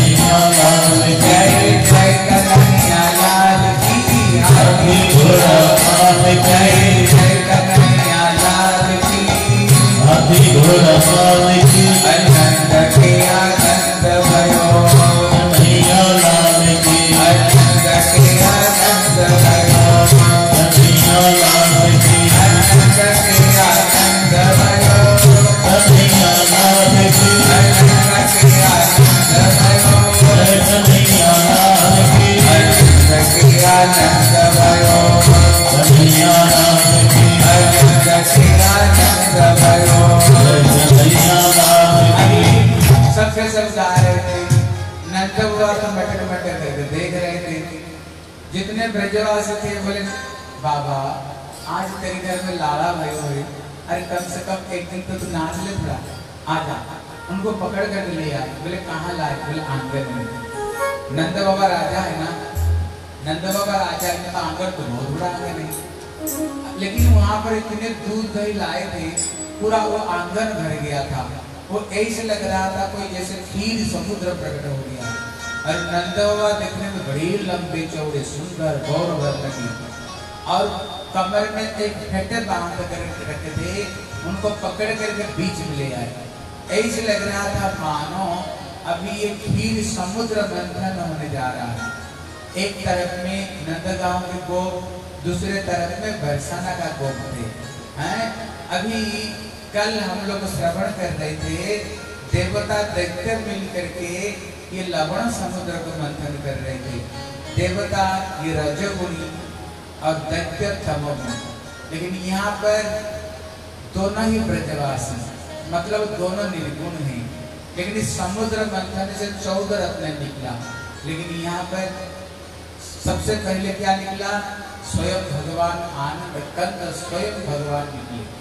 नंद बाबा इतने उन्होंने दान दिया, इतने उन्होंने दान दिया। सुखदेव गोस्वामी कहते हैं, हे परीक्षित ब्राह्मण लोग तो गठली बाँध बाँध करके सोने चांदी को ले नहीं पा रहे थे। गठली की कोने से गिरते गिरते गिरते गिरते जा रहा था और पूरा रोड में बिखरा हुआ था, गिरी जबरा ऐसे लग रहा था मानो कृष्ण जन्म लेने पर माँ लक्ष्मी स्वयं गली गली में नाच रही हैं। इतने उन्होंने दान दिए। जहाँ पर कुबेर भी आया था, उसका सर भी नीचा हो गया। बोले, क्यों? बोले, भगवान मेरे को झूठ मूठ का कुबेर बना दिया अब जानते हो कुबेर का नाम सुने कि नहीं? बताओ तो कुबेर कौन है? कुबेर कौन है?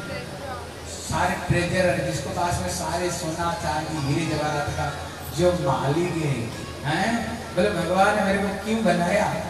कि झूठ मूठ का बना दिए आज नंद बाबा इतने दान दे रहे हैं। मेरे पास में भी इतने सोने चांदी नहीं। बोले, भैया, इतना कहाँ से आ गए जहाँ कुबेर भी लज्जित हो गए, कारण है जब कृष्ण जन्म हुए ना, उनकी जो स्वरूप शक्ति लादिनी शक्ति, पराशक्ति श्री राधा रानी भी वहाँ पर प्रकट हो गई। और उन्होंने रिद्धि सिद्धियों को उन्होंने आदेश दिए। बोले, मेरे प्रियतम की जन्म उत्सव में इतने दान दक्षिण दिया जाए, दक्षिणा, जब तक ये दुनिया रहेगा, तब तक दुनिया याद करे। कृष्ण की जन्म उत्सव में कितने दान दी गई थी। उन्होंने आदेश दे दिया रिद्धि सिद्धियों को। आप लोग रामायण सुने होंगे। जिस समय बरजात्री आई ना अयोध्या से, राम का बरजात्री आई जब उन्होंने जनकपुर में प्रवेश कर रहे थे, देखे शहर के बाहर में छोटे जाति के लोग रहते हैं। उन्होंने लोटे में पानी लेकर के शौच क्रिया में जा रहे थे। लोटे कैसे था? सोने की। जो ब्रूस कर रहे थे, वो सोने की थी। बोले ये बाहर में, गाँव के बाहर में जो छोटे जाति के लोग हैं कभी ये सोने की हाँ सोने की लोटे में पानी लेकर सोचो क्रिया में और जब उनको भोजन कराया गया, सोने की प्लेट, सोने की कटोरी, सोने की ग्लास, और एक बार खाओ, डस्टबिन में फेंक दो। अयोध्या वासी तक तरस उठी। बोले, हे भगवान, सोने की कटोरी बाटी एक बार खाओ और फेंक दो, डस्टबिन में। अभी उनकी इच्छा हो रही तो कुछ उठा करके ले जाए। बोले, भैया, अगर ले जाए ना फिर गाँव का बदनाम भी होगी कहती, घोड़े और हाथी को क्या खिला रहे थे? बोले, काजू पेस्ता बादाम खिला रहे थे। बोले, हे भगवान, बोले, कहाँ से आए बताओ? बोले, वहाँ पर माँ लक्ष्मी स्वयं। कौन है? माँ लक्ष्मी कौन थी वहाँ पर? कौन थी? सीता इसलिए वहाँ पर लक्ष्मी है। इसलिए माँ लक्ष्मी की कृपा से हाँ वहाँ पर किसी चीज़ की कमी नहीं। उसी तरह यहाँ पर जब कृष्ण की जन्म उत्सव हुई, ऐसे दान पुण्य किए दुनिया देख देख के तरस रहे थे। और सबके सब गा रहे थे। नंद के आनंद भयो। जय कन्हैया। जय कन्हैया। लाल की। सबके सब गा रहे थे। श्री भोले बाबा भी आए थे। पार्वती को लेकर के। लेकिन नंद बाबा ने कितने गैया दान दी?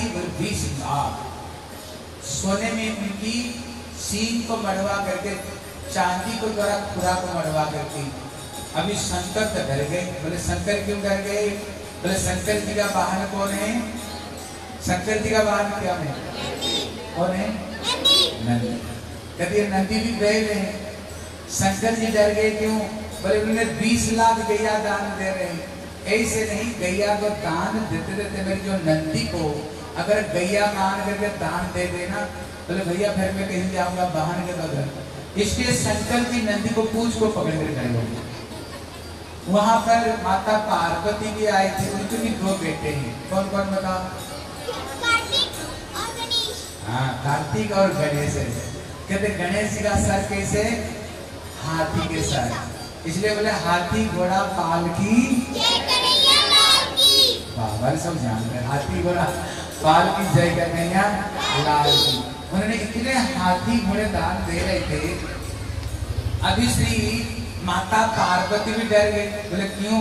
बोले, मेरे भी एक लाला श्री गणेश गजानन, ऐसे नहीं, हाथी को दान देते देते मेरे लाला को तो हाथी मान करके दान में नहीं देते। इसलिए मैया पार्वती डर करके अपना बेटे को गोद में, अपने गोद में ले ली और उन्हें चुपका करके खड़ी हुई। हैं? इसलिए ऐसे दान तेतीस करोड़ देवता प्रभु की जन्म महोत्सव में आए। सबके सब नाच रहे थे। लेकिन एक व्यक्ति नहीं नाच रहे थे, बोले, कौन? बोले, श्री रोहिणी। रोहिणी कौन है? ये ताऊ भैया की माँ का नाम रोहिणी। बोले, रोहिणी क्यों नहीं नाच रही थी? बोले, वो कृषि का भत्रिका वो कौन है? प्रोसिता भत्रिका बोले, प्रसिद्ध भत्रिका का मतलब क्या है? बोले, जिनका पति दूर देश में हो और दुखी में हो। बोले, पति कौन? बोले, वसुदेव महाराज। बोले, कहाँ पर? बोले, मथुरा में। बोले किस रूप में, बोले, कंस की जेल में। अगर जिसका पति जेल में बंद पड़ा हुआ हो, उसकी पत्नी कभी भी दूसरों को सामने नाच नहीं सकती। वो बड़ी दुखी होकर के बैठी हुई दाऊ भैया को लेकर के। नंद बाबा देखा, सारे ब्रजवासी नाच रहे हैं। लेकिन ये घर के सदस्य ही यहाँ पर है बोले, रोहिणी कहा? देखा, रोहिणी तो चुपचाप बैठी नंद बाबा बोले, रोहिणी, तुम घर में दो ही स्त्री है। एक जसोदा और एक रोहिणी। अभी जसोदा ने तो बच्चे को जन्म दी, वो तो घर का काम नहीं कर सकती ना। अभी तुम दूसरी, अभी घर का सारे काम काज वो कौन देखेगा? सारे ब्रजवासी आए, नौका लेकर के। अभी इसको कौन देखेगा? हमें पता है, तेरे पति जेल में लेकिन कम से कम लाला को आशीर्वाद तो दे सकती हो। लेकिन श्री बलदेव प्रभु पंद्रह दिन पहले जन्म हुए। लेकिन वो जन्म से बलदेव प्रभु आँख बंद करके रखी। बोले, क्यों? बोले, जब मैं आँख खोलूँगा, सबसे पहले कृष्ण कन्हैया को देखना चाहता हूँ। फिर ये दुनिया को मैं देखूँगा। अभी श्री माता रोहिणी, श्री दाऊ भैया को ला करके कृष्ण जिस पलक के ऊपर में लेटे हुए थे, उसी में ही लेटा दिया। और जो बलदेव प्रभु को पता चला, कृष्ण को सामने आ गया हूँ, फिर बलदेव प्रभु आँख खोल दी। और सामने श्री कृष्ण को मैंने दर्शन की इतने में रोहिणी तो दुखी थी। क्योंकि बेटा जन्म से आँख बंद करके रखा। लेकिन उसने जब आँख को खोल दिया ना, है तो उनको आनंद की ठिकाना मिल गई। इतने में रोहिणी भी ठुमुक लगा करके वो भी नाचना शुरू कर दी। बोले श्री नंद के लाला की अभी हमारे प्रभु जी बड़े सुंदर बधाई गाएँगे। और सबके सब भगवान की बधाई में नाचनी चाहिए। देखो, जिस समय कृष्ण जन्म हुए, ब्रह्मा, शंकर, इंद्र, चंद्र सब सब आए थे। वो अकेले नहीं, वहाँ पर स्वयं पार्वती, ब्रह्माणी, इंद्राणी, ये सबके सब नंद महोत्सव में नाच रही थी। मुझे लगता है यहाँ पर ज़रूर कोई इंद्र इंद्राणी होंगे हाँ? फिर आएँगे, ज़रूर बदला करके भगवान की जन्म उत्सव में यहाँ पर आएगी। ठीक है बोलो वृंदावन बिहारी लाल की जय बोलो नंद के की जय श्री राधे ज्ञान बरती सी ब्रजदानी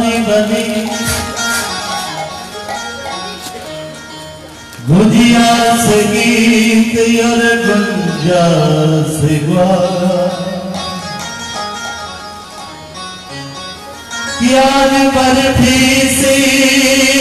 ब्रजदानी बनी गुजिया से गीत और गुंजा से ग्वाला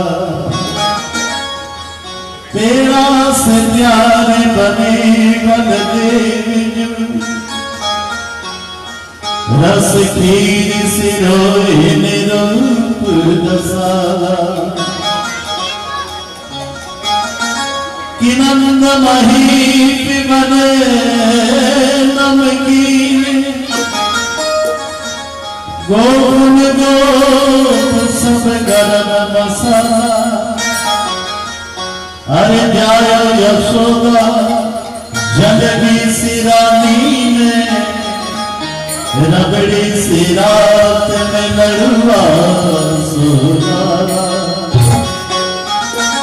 अरे जायो यशोदा जननी सिरानी में रबड़ी सी रात में लड़ुआ सुनाला बुलंद के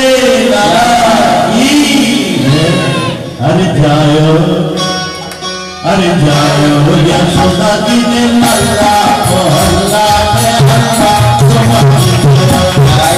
यशोदा जी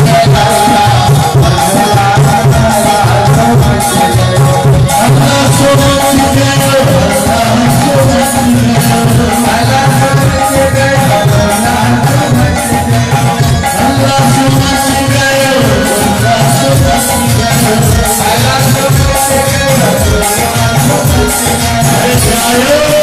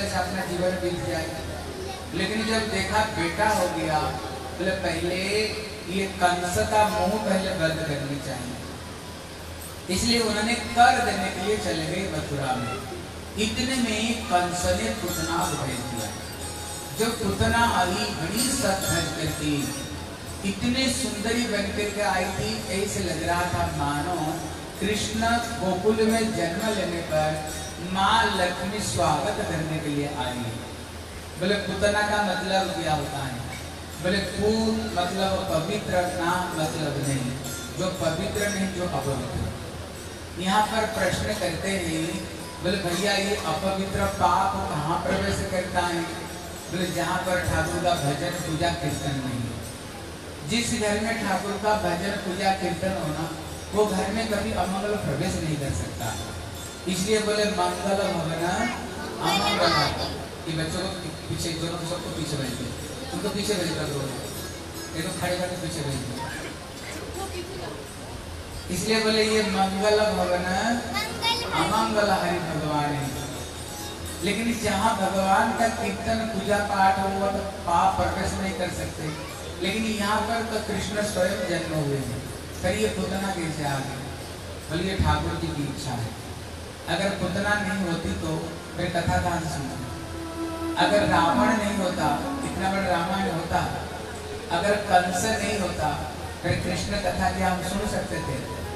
एक रूप में तो इनकी शत्रु रूप में देख रहे हैं, लेकिन दूसरे रूप में ये भगवान की लीलाओं को मदद करते हैं। मानो ठाकुर जी की इच्छा से पुतना आई और सीधा उसने नंद भवन में चली गई। देखा मैया जसोदा रोहिणी कृष्ण को पल्ले में झुला रही है और पुतना सीधा गई, कोई बोल चाल नहीं। उसने स्थल में कालकुट जहर लेकर के आई थी। बोले भैया जसोदे इतने सुंदर लाला को थोड़ी पल्ले में झुलाते हैं। इसको तो गोद में लेकर के प्यार करनी चाहिए। जब ने कृष्ण को उठा ली, इतने में कृष्ण आँख बंद कर दिए। बोले, कृष्ण, आँख क्यों बंद किए? हमारे टीकाकारों ने बड़ी बड़ी रहस्य की बात बताई। पहला कारण बताए, बोले, तू कपटी हो। ऊपर में तो माँ की रूप धारण की, लेकिन अंदर में जहर लेकर के मेरे को खिलाने के लिए आई। तू कपटी हो, इसलिए मैं तेरे मुँह देखना नहीं चाहता। ये पहला कारण। दूसरा कारण है, बोले, गोकुल में जितने बच्चे जन्म हुए हैं, ये मेरे सखा सखी है। तुम इनको मारने के लिए आई हो, इसलिए मैं तेरे मुँह देखना नहीं चाहता हूँ इसलिए आगे बढ़ की तीसरा कारण है, भगवान आए क्यों? बोले परित्राण परित्राणाय साधुनाम विनाशाय च दुष्कृताम दुष्टों को विनाश करने के लिए भक्तों को पालना करने के लिए आए। अभी ठाकुर जी पहले श्री गणेश करने जा रहे हैं। पहला पुतना को सबसे पहले मारेंगे। बोले, इसको तो मैं मारूँगा, लेकिन ये माँ के रूप धारण करते हुए आई अभी ये छटपटाएगी अभी इसका दुख को मैं कैसे देखूँ? इसलिए भगवान ने आग बंद कर दी।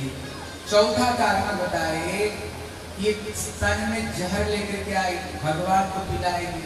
लेकिन भगवान के पेट में अनंत कोटि विश्व ब्रह्मांड है। सारे विश्व ब्रह्मांड घबरा उठे। बोले, हे प्रभु, आप विष मत पिया करो, क्योंकि आपके पेट में हम विश्व ब्रह्मांड है। अगर आप विष पियोगे ना, हम सबके सब मर जाएँगे। पिला नहीं। मानो ठाकुर जी आँख बंद करके, श्री शंकर जी को याद कर रहे थे। बोले, भोले बाबा, जल्दी जल्दी आओ। बोले, क्यों? बोले, तुम्हारा काम है बीस पीना। और मेरे काम में दूध पीना। तो बीस बीस को पी लो, मैं दूध दूध को पी लेता इसलिए शंकर जी को बुला रहे थे। इसका पंचमा कारण बताए बोले पूर्व जन्म में उसने ऐसे किया पुण्य कर्म की। क्योंकि जन्म जन्म मुनि जतन कराई और अंत राम कहीं आवतनाई लेकिन ये क्या पुण्य कर्म की? ये मेरे को गोद में उठा रही और दूध पिलाने के लिए। भगवान ने आँख बंद करके देखा सचमुच से ये पूर्व जन्म में ये बड़ी पुण्यात्मा थी। पूर्व जन्म में बलि महाराज की बेटी थी। जब भगवान वामन रूप लेकर गई, गए, बल रत्नमाला की इच्छा हुई थी। अगर ऐसे एक लाला होता ना, दिन भर गोद में लेकर के मैं उसको लाड़ लड़ा के प्यार करती। लेकिन भगवान जब सब कुछ ले लिए, वामन अवतार नहीं बोले, अगर तुम मेरे बेटे बन करके आओगे, तेरे को दूध पिया, तेरे को मैं जहर मिलाऊँगी बोले, कोई बात नहीं। इसलिए भगवान ने आँख बंद कर दी जो पुतना भगवान को स्तन पिलाई, वो स्तन में तो दूध नहीं, वो तो जहर है। भगवान ने दूध क्या, पान करेंगे ठाकुर तो उसको प्राण को ही शोषण किया। पुतना बहुत कोशिश की छुड़ाने के लिए। ठाकुर जी बोले, देखो, मैं तो सहज में जिसको पकड़ता है लेकिन एक बार जिसको पकड़ लिया ना मैं तो छोड़ना अभी तक मैंने सिखाया नहीं। मैं तो बोले पकड़ना ही सिखाया है। तब तक मैं नहीं छोड़ूँगा, जब तक तेरे को मैं अपना गोलक वृंदावन नहीं पहुँचा दूँगा। इतने में पुतना तो जब छोड़ी नहीं, पुतना ने धीरे धीरे धीरे धीरे अपना रूप विस्तार की भयंकर पुतना की रूप थी। कहते कितने बड़ी थी, बोले त्रिकप्यु थी। मतलब आठर मील लंबाई चौड़ाई थी। अभी कृष्ण को पकड़ करके सोच रहे थे, अगर मैं मथुरा चला जाऊँ ना, भैया कंस कुछ ना कुछ करेगा। उसने तो कृष्ण को लेकर के आकाश में उड़ चली। बोले, कहा गई? बोले श्री कंस राजा का एक सुंदर बगीचा थी सबसे प्यारा बगीचा, जिसमें सुंदर सुंदर फल, फूल, लता पताओं से भरा पड़ा हुआ, बड़ा सुंदर जंगल था। लेकिन कंस का निर्देश था, यहाँ का कोई भी फल, फूल कृष्ण और कृष्णा ब्रजवासियों को नहीं, मेरे को और मेरे अनुयायी जितने पुतना अघासुर बकासुर को मिलनी चाहिए। कृष्ण ने कहा, भैया, दुनिया मैंने बनाया, दुनिया मेरा है। और मेरे को मेरे भक्तों को नहीं मिलेगा। तो जितने दुष्ट लोगों को मिलेगा, अभी मैं दिखाता हूँ। उन्होंने पुतना को उड़ाते हुए वहीं पर ले गए। वो सुंदर बगीचा प्रभु जी, पानी भी बदलो। तो कीर्तन होगा ना तो पानी। ठीक है। अभी उन्होंने पुतना को वहीं पर उड़ा करके ले गए और वो जो बगीचा थी, उसको ऊपर में उन्होंने फेंका। और पूरा बगीचा को तसनस कर दिया, पूरा के पूरा। सारे सब तसनस कर दिए। लेकिन ये ब्रजवासियों का कोई भी बगीचा, ब्रजवासियों का कोई भी क्षति कभी बर्बाद नहीं हुआ। सारे कंसकाई सबके सब खत्म हो गए हाँ देखो, आप लोग यहाँ से कितना शिक्षा लेकर के जाओ। हमारे जो टीकाकारों ने बड़ी सुंदर इसको ऊपर में टीका लिखे हैं। पुतना को कृष्ण क्यों वो बगीचा में ले गए? किसी ब्रजवासियों का कोई चीज़ बर्बाद नहीं हुआ, लेकिन उसकी बगीचा को ही सत्यानाश क्यों कर दी? देखो, आप लोग सात दिन कथा सुनोगे। कितना दिन कथा सुनोगे? हाँ सात दिन में कुछ लेकर के जानी चाहिए। ऐसे नहीं, सात दिन खत्म, हम भी खत्म। और यहाँ से गए तो पल्लू झाड़ के ऊपर चली गई। देखो, कितना चीज़ लेकर के जाओ।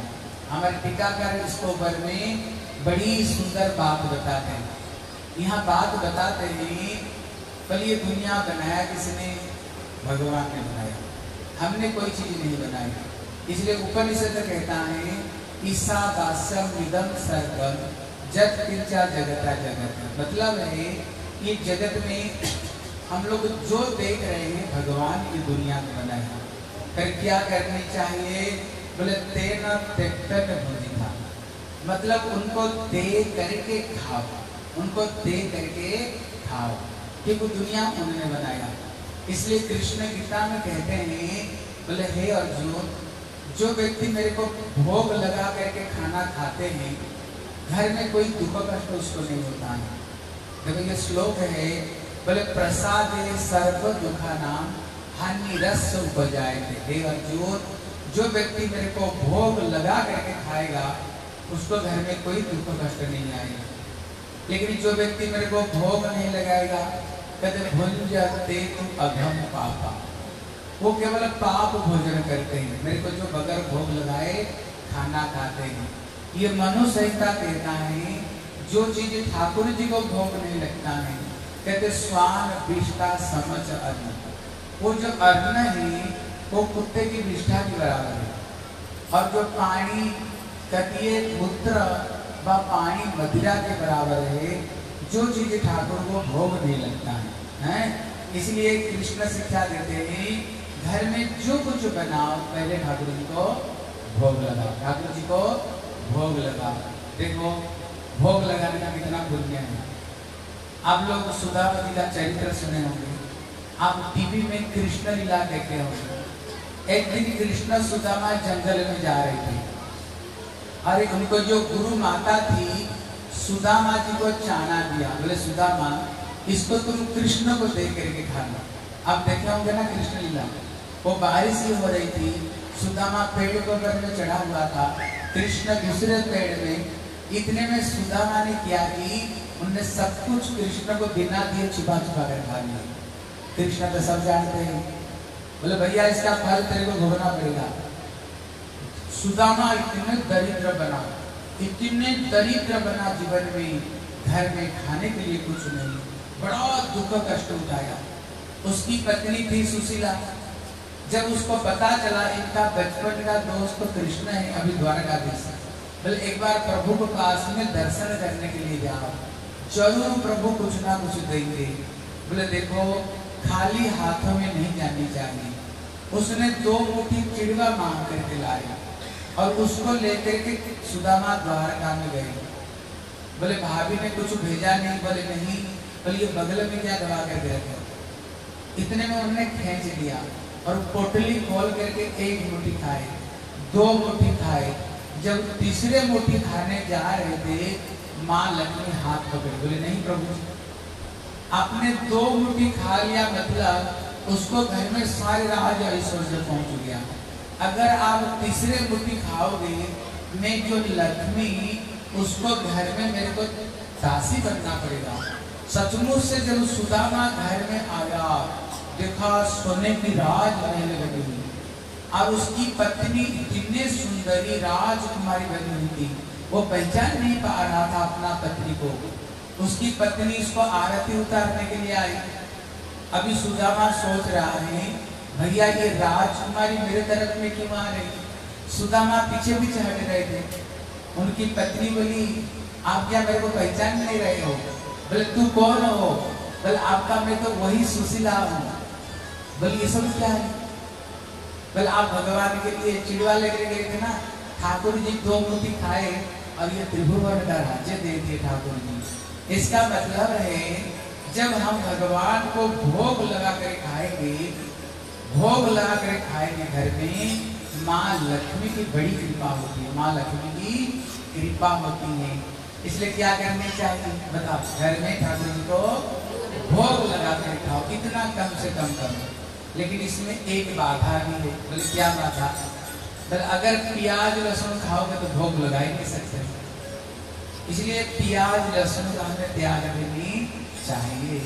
प्याज लहसुन को केवल इतनी सी आपके अंदर में कोई गंदी चीज़ नहीं, सब पवित्र है। लेकिन केवल एक चीज़ त्याग करना पड़ेगा। आप लोग नवरात्रि रखते हो? कौन नवरात्रि रखते हो? आप लोग नौ दिन तक कोई प्याज लहसुन खाते हो कोई नहीं खाते। बोले, क्यों? बोले, माता जी को ये पसंद नहीं तभी तो नहीं खाते हुए चीज़ को इसलिए भागवत में एक कथा आई है ये प्याज लहसुन की सृष्टि कहाँ से हुई बल जिस समय समुद्र मंथन से अमृत निकली मोहिनी बोली तुम दोनों लाइन करके बैठो पहले देवता को पिलाता हूँ फिर तुम लोगों को पिलाऊँगी जब उन्होंने अमृत पिला रही थी ये चंद्र सूर्य को बीच में एक स्वर भानु नाम का दैत्य बैठ गया वो भी अमृत पी लिया। चंद्र सूर्य ने इशारा किया, बोले, प्रभु, ये दैत्य है, ये देवता ने धोखे देकर इसने अमृत को पी लिया? भगवान सुदर्शन चक्र को बुलाया और उसको गले को काट दिया। जब गले को काटे, जहाँ पर ये मांस गिरा, वहीं से ये प्याज हुई। जहाँ पर हड्डी गिरी, वहाँ लहसुन हुई। जहाँ पर खून का बूंद गिर पड़ा, वहाँ पर मसूर का डाल हो गया। ये एक कथा थी। दूसरी कथा थी, है, पहले ऋषि मुनि लोग आश्रम में गैया पालते थे। अगर कोई गैया बूढ़ी हो जाती थी, उसको मारने नहीं देते। क्यों? गो माता है। उसके लिए यज्ञ करते थे, यज्ञ में गैया को बलि देते थे। जितने लोग होते थे, सबको हाथ में मांस देते थे। जब उसने आहुति डालते थे, ऋषियों के पास में इतने दिव्य ज्ञान होता था दिव्य मंत्र होता था फिर वो मंत्र पढ़ करके बूढ़ी गैया को जवानी बना देते अभी गैया कोई बुरी हो गई, बलिदान दिए, सबको हाथ में मांस दिया आहुति डालने के लिए। अभी हर तरह के व्यक्ति होते हैं किसी ने मांस दे करके खाने की इच्छा हो गई? बोले, सबको सामने कैसे खाए? अभी उसको रात में छुपा देता हूँ, उसने छुपा दी। ऋषि ने मंत्र पढ़ा।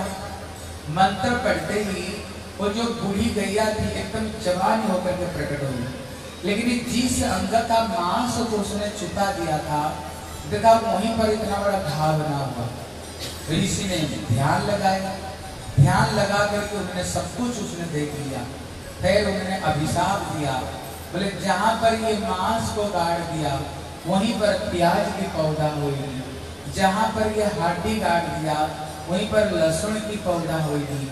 जहाँ पर ये खून का बूंद गिर पड़ा, वहीं पर मसूर का डाल हुई इसलिए आप लोग देखना, आपकी घर में एक पीढ़ी पहले आप लोग देख लेना, किसी हिंदू घर में पहले ये प्याज, लहसुन, मसूर दाल नहीं घुसा था ये केवल छोटे जाति के लोग इसको खाते थे। ब्रज मंडल में तो नियम चौरासी क्रोश में नियम था ये चौरासी क्रोश में कहीं भी ये प्याज, लहसुन का प्रवेश नहीं। क्योंकि हर हिंदू घर में पहले ठाकुर जी को भोग लगाते थे, ठाकुर जी को भोग लगा कर खाते थे। बगैर भोग लगाए हुए कोई खाते नहीं। इसलिए किसी हिंदू घर में ये चीज़ नहीं आती थी। लेकिन ये कली के प्रभाव से वो धीरे धीरे धीरे धीरे ये चीज़ अभी आने लग गई। लेकिन आप लोग कोशिश करना, जैसे ये चीज़ ग्रहण नहीं करें। केवल इतनी सी चीज़ अगर आप छोड़ दोगे ना, फिर तक ठाकुर जी को भोग लगा करके फिर आप खा सकते ठाकुर जी को भोग लगा करके खा सकते हो। आप स्वयं देख लेना। ठाकुर जी को जो भोग लगा करके पूरा परिवार को खाना खिलाओगे, आप केवल जिसको घर में नहीं लगता है, आप केवल इतनी सी काम करके देख लो, जो कष्ट को आप किसी तरह से दूर नहीं कर पा रहे तुम्हारे घर में जो समस्या, जिस समस्या को तुम किसी तरह से दूर नहीं कर पाते हो वो सारी समस्या तुम्हारी हल हो जाएगी। आप केवल इतना करके देख लो, ये गीता का श्लोक है, प्रसादे सर्व दुखाना हानि रस्य उपजाए बोले, हे अर्जुन, जो व्यक्ति मेरे को भोग लगा कर खाते हैं, घर का सारे दुख कष्ट उसको खत्म हो जाते हैं हैं? लेकिन अगर भोग नहीं लगाओगे, प्याज, लहसुन डाल कर खाओगे, ठाकुर जी को भोग नहीं लगाओगे फिर घर में शांति शुरू नहीं होगी, बोले, क्यों नहीं होगी? फिर इसका कारण सुनो। क्योंकि हम जो कुछ चीज़ खरीदी करते हैं, वो पैसा से खरीदी करते हैं। किससे खरीदी करते हैं? पैसा से हर चीज़ खरीदी करते हैं। कहती है पैसा कौन है? बोले, लक्ष्मी। पैसा कौन है? ये लक्ष्मी है। बोले, ये लक्ष्मी किसके है? लक्ष्मी हमारी ना, लक्ष्मी नारायण बताओ, लक्ष्मी किसकी है? लक्ष्मी नारायण। जब ये लक्ष्मी नारायण की सेवा में लगे, फिर तो लक्ष्मी घर में शांति सुख देती है। अगर ये लक्ष्मी नारायण की सेवा में नहीं लगे, फिर तो भले ही घर में जितने पैसा आए फिर घर में ये शांति सुख नहीं देती ये सुख शांति घर में नहीं देती इसलिए जब ठाकुर को सेवा में लग जाएगी, एकदम घर में शांति सुख आ जाएगी। इसलिए कोशिश करना, हर चीज़ को भगवान की भोग लगा करके बच्चे को खिलाओ पति को खिलाओ आप भी खाओ और घर में आनंद आनंद और शांति शांति आ जाएगी ठीक है ना? कम से कम भागवत कथा से इतनी सी चीज़ आप यहाँ से लेकर के जाओ। ठीक है? बल श्री वृंदावन बिहारी। जय जय श्री जय जय श्री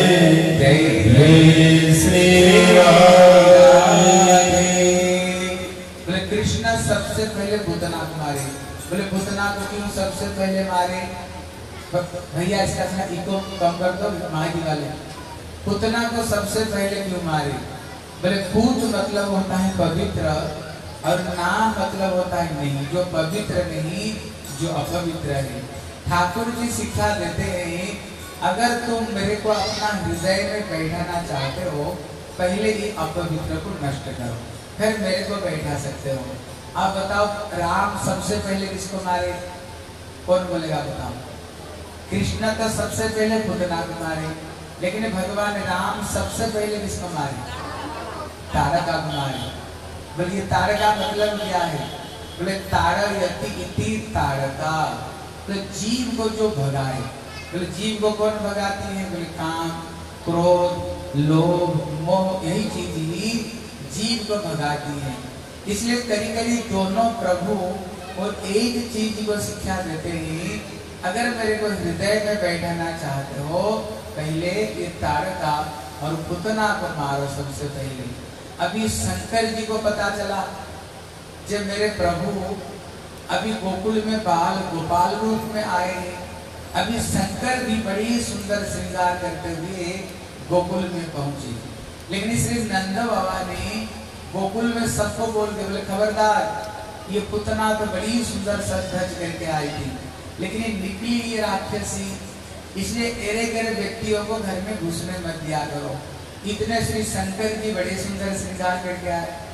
शंकर जी को बताए, सत्यम शिवम सुंदर सत्यम शिवम सुंदरम लेकिन शंकर जी को तो सुंदर बताए। लेकिन शंकर जी का जो ड्रेस है ना, आप देखना बड़ा अपवित्र है। बताओ, शंकर जी शरीर में स्नो पाउडर नहीं तो कोई चंदन लगाते हैं? क्या लगाते हैं शंकर जी? क्या लगाते हैं? बहुत। ही कहाँ के? शमशान के। बोले, क्यों? शंकर जी को क्या कोई पाउडर और स्नो और कोई क्रीम नहीं मिला? चंदन नहीं मिला? ये शंकर जी, ये परम गुरु है शंकर जी। ये गुरु है शंकर। इसीलिए गुरु रूप में वो शिक्षा देते हैं। बोले, भैया, जिस शरीर का तुम इतने प्रेम करते हो, ये शरीर का जो परिणाम है ना, एक मुट्ठी राग है। इसका और कोई गति नहीं इसलिए अगर प्यार करना तो किसको प्यार करो? बोले, भगवान को प्यार करो, भगवान को प्यार करो। शंकर जी के सर के ऊपर में कौन सा फूल चढ़ता है? कोई जूही बेली चमेली, ये सब फूल नहीं चढ़ता है। कौन सा फूल? बोले धतुरे और आकर्द का फूल। जो वृक्षों को कोई घर में नहीं लगाते, जो अपने आप जंगल में होता है। बोले, इन्होंने ये फूल क्यों धारण करते हैं? बोले, जितने अच्छे अच्छे फूल है, मेरे प्रभु श्री भाग्य बिहारी, प्रभु राम की सेवा में ये सब चीज़ लगी। मैं तो भगवान की सेवक हूँ, इसलिए मैं जो पुष्पों को मेरे प्रभु धारण नहीं करते हैं, वही पुष्पों को मैं धारण कर लूँगा। इसलिए शंकर जी के अलंकार क्या है। बताओ, शंकर जी के अलंकार क्या है। कोई कोई सोने चांदी नहीं पहनती है। सरा शरीर में सर्प है। बोले, ये सर्प कौन है? बोले, श्री अनंत देव है। बोले, श्री अनंत देव कौन है? बोले, शंकर जी की गुरु है। ये दुनिया को शिक्षा देते हैं। अगर अलंकार धारण करना चाहते हो गुरु जी की उपदेश को अलंकार रूप में धारण करो, जिससे हमारी कल्याण होगा। शंकर जी वैष्णव है, इसलिए शंकर जी अपने आप को छुपा छुपाने के लिए कोशिश की। इसलिए कहा बर्फ़ को ऊपर बैठे हुए शंकर जी। लेकिन तब भी शंकर छुपा नहीं सके, बोले क्यों नहीं छुपा सके? बोले शंकर जी में सबसे पवित्र वस्तु है। इसलिए शंकर जी अपने आप को छुपा नहीं पाए। बताओ तो शंकर जी में सबसे पवित्र वस्तु क्या है? बोलो, कौन बोले? कौन है? श्री गंगा है। शंकर जी की जटा में कौन है? गंगा माता जी। बोले, गंगा मैया की। इसलिए शंकर जी अपने आप को छुपा नहीं पाए शंकर जी। इसलिए शंकर जी बड़ी सुंदर श्रृंगार करते हुए गोकुल में छुपा जब पहुँचे इतने में एक गोपी थी बाहर। इतने में शंकर जी बोले, मैंने सुना है, नंद के एक लाला भयो है। बोले, भैया, नंद के लाला भयो तो तेरे कहाँ भयो है? बोले, एक दर्शन लाला को करा तो बढ़िया आशीर्वाद होगा। बोले, बाबा, कुछ दिन पहले ये पुतना आ गई थी। वो तो इतने सुंदरी बन करके आई थी। लग रहा था जैसे वैकुंठ से कोई लक्ष्मी आ गई, लेकिन वो निकली राक्षसी। लेकिन तू देखने में वैसे लग रही हो। तेरे को देख करके तो हमारा जी घबरा रहा है। अब तू कह रहे हो, लाला को दर्शन करोगे। हमारे लाला के ऊपर तो बड़ी जल्दी नज़र लग जाती है। उसने जा करके मैया को बोले बोले, मैया, कहाँ से के बाबा आया? वो कहता है, लाला को दर्शन कराओ। जिसको देख करके मैं ही डर गई।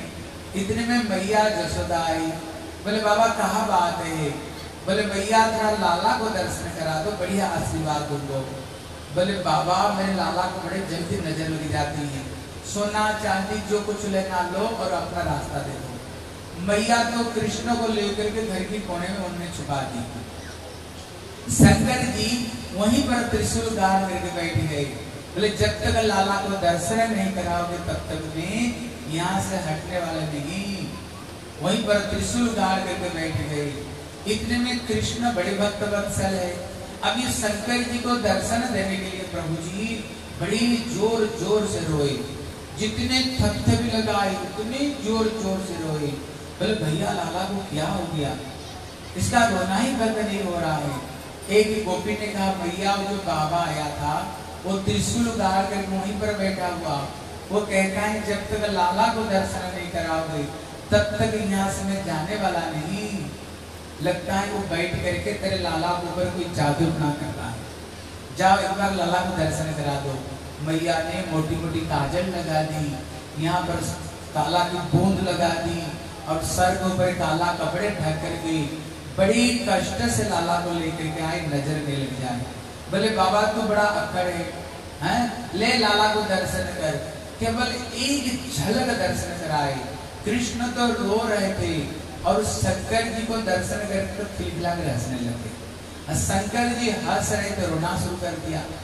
मैया ने समझ नहीं कि बाबा का कुछ जानता है। क्योंकि तो अभी तक तो लाला रो रहा था। लेकिन दर्शन मात्र से ही लाला को रोना तो ले लिया और अपना हंसना लाला को दे दिया। मतलब ये बाबा कुछ जानता है। अगर माताओं को पता चले ना, बाबा को कुछ जादू अपना हाथ देखना आता है। क्या होता है? सब घेर जाते हैं। बाबा, मेरे हाथ पर देंगे बाबा बता दो हमारा भविष्य क्या है। अभी सबके सब घेर गए बाबा को। इतने बोले, बाबा, तू कोई चातुर थोड़ा जानता है कि ना क्या? बोले हाँ। बोले, हमारे लाला को ऊपर में बड़ी जल्दी नज़र लग जाती है। कोई उपाय है? बोले, अगर एक काम करोगे ना, कभी नज़र नहीं लग जाए बोले, बता दे। बोले, जब लाला को तुम स्नान कराओगे, उसका जो चरणामृत ला करके मेरे सर पर डाल देना। बोले, बाबा, कर लूँगा बोले, और कुछ करना पड़ेगा? बोले अगर और एक काम करोगे ना तुम्हारी लाला को फिर कभी नज़र ही नहीं लगेगा। बोले बता दो। बोले लाला को जब खाना खिलाओगे जो प्लेट में बच जाएगी उसको ला करके मेरे को दे देना बोले ठीक है बाबा कर लूँगा देखो ये साढ़े पाँच हज़ार वर्ष की खेलीला है। अगर अभी आप नंदगांव जाओगे ना नंदगांव गए हो? कौन कौन नंदगांव गए हो? हाथ उठाओ। हाँ, देखना यहाँ पर कृष्ण का मंदिर है, भगवान की दरबार है, और यहाँ पर श्री नंदीश्वर महादेव यही कर रहे इतना दूर। उसका अंदर से पाइप आया है, उसका अंदर से। जब भगवान को स्नान कराया जाता है, वो जो स्नान का पानी सीधा श्री शंकर जी के सर पर आता है। क्यों? ये भगवान की चरणामृत ये गंगा है। देखना कांवर है, जो लोग गंगा पानी ले जाते हैं कहाँ क्या करते हैं? शंकर जी की सर पर लेकर के डालते हैं। शंकर जी इतने क्यों खुश होते हैं? कारण क्या। बोले, श्री देवता, ये चरणामृत ये गंगा है, हैं? और जब भगवान की भोग लगता है, वो सीधा वो जो प्लेट है ना, श्री शंकर जी को पास में आएगा शंकर जी भोजन करके फिर जा करके ये प्रसाद सबको मिलता है। जब भगवान को कोई चीज़ भोग लगे, वो हो जाता है प्रसाद। लेकिन जब उनकी किसी प्रिय भक्तों को भोग लग जाए, वो प्रसाद नहीं, उसका नाम महा, महाप्रसाद हो जाता है। वो प्रसाद नहीं, उसकी और भी ज़्यादा महिमा बढ़ जाती है। इसलिए जैसे कभी कभी हम लोग लड्डू बनाते हैं और हनुमान जी को लेकर के भोग लगाते हैं भोग लगाते नहीं, ऐसे नियम नहीं है। नियम है, सबसे पहले प्रभु राम को भोग लगाओ, फिर माता सीता को भोग लगेगी। फिर श्री हनुमान जी को दो दो, फिर हनुमान जी इसको ग्रहण करते हैं अगर बगैर प्रभु राम के भोग के बगैर, अगर हनुमान को जितने लड्डू लेकर के भोग लगाओ, हनुमान जी एक बूंद भी नहीं ग्रहण करेंगे। बोले, क्यों? ये भगवान के सेवक श्री हनुमान जी। जब राम दरबार लगता है, हनुमान जी कहाँ बैठे हुए होते हैं? कहाँ पर बैठे हुए होते हैं? चरण तो नीचे बैठे हुए होते हैं। इसलिए भगवान के प्रसाद के बगैर हनुमान जी कुछ भी नहीं खाते हैं। इसलिए पहले कोई भी चीज़ हो, पहले ठाकुर जी को कृष्ण को भोग लगाओ। फिर वो प्रसाद कि जितने तैतीस करोड़ देवता हैं, फिर उनको भोग लगाओ ना। बड़ी प्रसन्न होकर के भोग लेते हैं। और जो कुछ आप मांगोगे ना, आपका आशीर्वाद देते हैं। देखो आपको एक पुराण की एक छोटी सी कथा सुनाता हूँ। बड़ी प्यारी कथा। इससे आपको बहुत कुछ शिक्षा मिलेगा।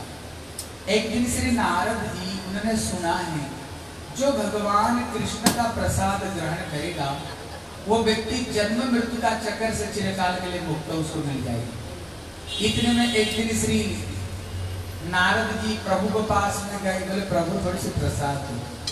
भगवान बोले, देखो, ये प्रसाद मैं नहीं दे सकता। हूँ ये लक्ष्मी खाना बनाती है, ये खिलाती है। फिर ये क्या करती, नहीं करती मेरे को पता नहीं, लक्ष्मी के में जाओ। अभी लक्ष्मी को पास में आए, लक्ष्मी को प्रसाद मांगे तो लक्ष्मी बिगड़ गई। बोले, इतने कष्ट करके मैं खाना बनाती हूँ, और प्रभु का प्रसाद को मैं खा करके ये जीवन धारण करती हूँ, तुम बीच में कहाँ से आ गए? बोले, प्रसाद प्रसाद को कुछ नहीं मिलेगा। उन्होंने डांट लगा करके भगा दी खैर नारद जी गए, माँ लक्ष्मी के पास में। बोले, मैया तो हमने भगा दिया माँ से। बोले, एक काम कर सकते हो? बोले, बताओ। बोले, मेरी मंदिर को पीछे एक कुआ है। वो कुआ ढका हुआ है। वो ढक्कन को खोलना और उसमें तुम स्नान करना। स्नान करते ही बड़े सुंदर तुम गोपी रूप धारण करोगे। वो गोपी रूप लेकर के तुम श्री माता लक्ष्मी की सेवा करना। जब लक्ष्मी प्रसन्न हो जाएगी, फिर उनसे मांगो, फिर प्रसाद मिलेगा। श्री नारद जी कठोर तपस्या की, माँ लक्ष्मी की चरण की इतने सेवा की, इतने सेवा की, मैया लक्ष्मी तो प्रसन्न हो गई। बोले, बेटा वर मांगो क्या चाहते हो? बोले, पहले आप तीन बार कसम खाओ, फिर मैं मांगूँगा। फिर मैया तीन बार कसम खाई।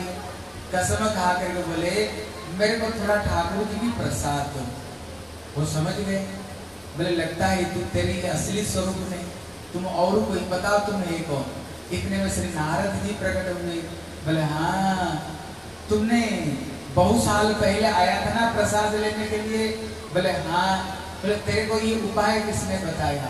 बोले, उपाय स्वयं भगवान नारायण ने बताया लक्ष्मी तो प्रतिज्ञा कर चुकी थी। जब उन्होंने दाल, चावल, प्रभु खाने का बाद उसको मिला करके श्री नारद जी को हाथ में दिए और नारद जी प्रसाद पा करके प्रेम में इतने मुक्त हो गए। नृत्य करते करते करते पहुँचे कैलाश। शंकर जी ध्यान में बैठे हुए थे। बोले, नारद जी को अंदर में आज इतने आनंद क्यों? आज इतने क्यों नृत्य कर रहे हैं? बोले, नारद जी, क्या बात है बोले, मेरे को ठाकुर जी की प्रसाद मिला। बोले, देखो नियम है प्रसाद बांट कर खाने से बैकुंठ जाते हैं। मेरे लिए कुछ लाए कि नहीं। बोले, अरे, कितने हज़ार सालों बाद में माता जी थोड़ी सी मेरे को प्रसाद दिया। बोले, जो कुछ मिला हुआ, मेरे लिए थोड़े लाए हो। इसने देखा नारद जी को हाथों में केवल एक अन्न का दाना था। बोले, भैया, प्रसाद इतना ही बहुत है। शंकर जी जब एक किड़का खाए, फिर शंकर जी तांडव नृत्य शुरू कर दिए। वहाँ पर भैया पार्वती थी।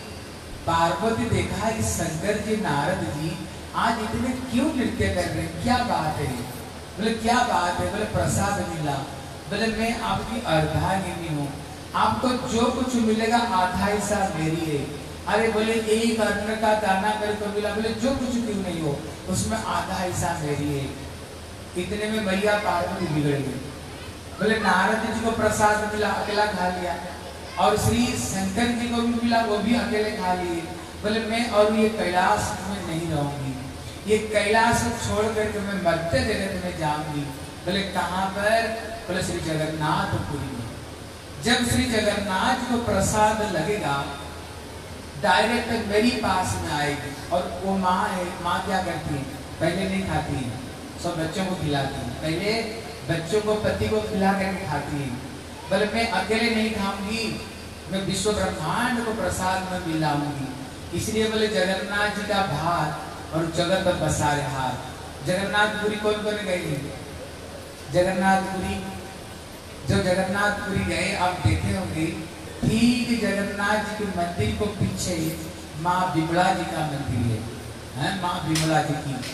जब जगन्नाथ जी को जो प्रसाद लगता है, जो सोने की प्लेट होती है ना, वो डायरेक्ट जगन्नाथ जी के प्रसाद माँ बिमला मंदिर में आएगी।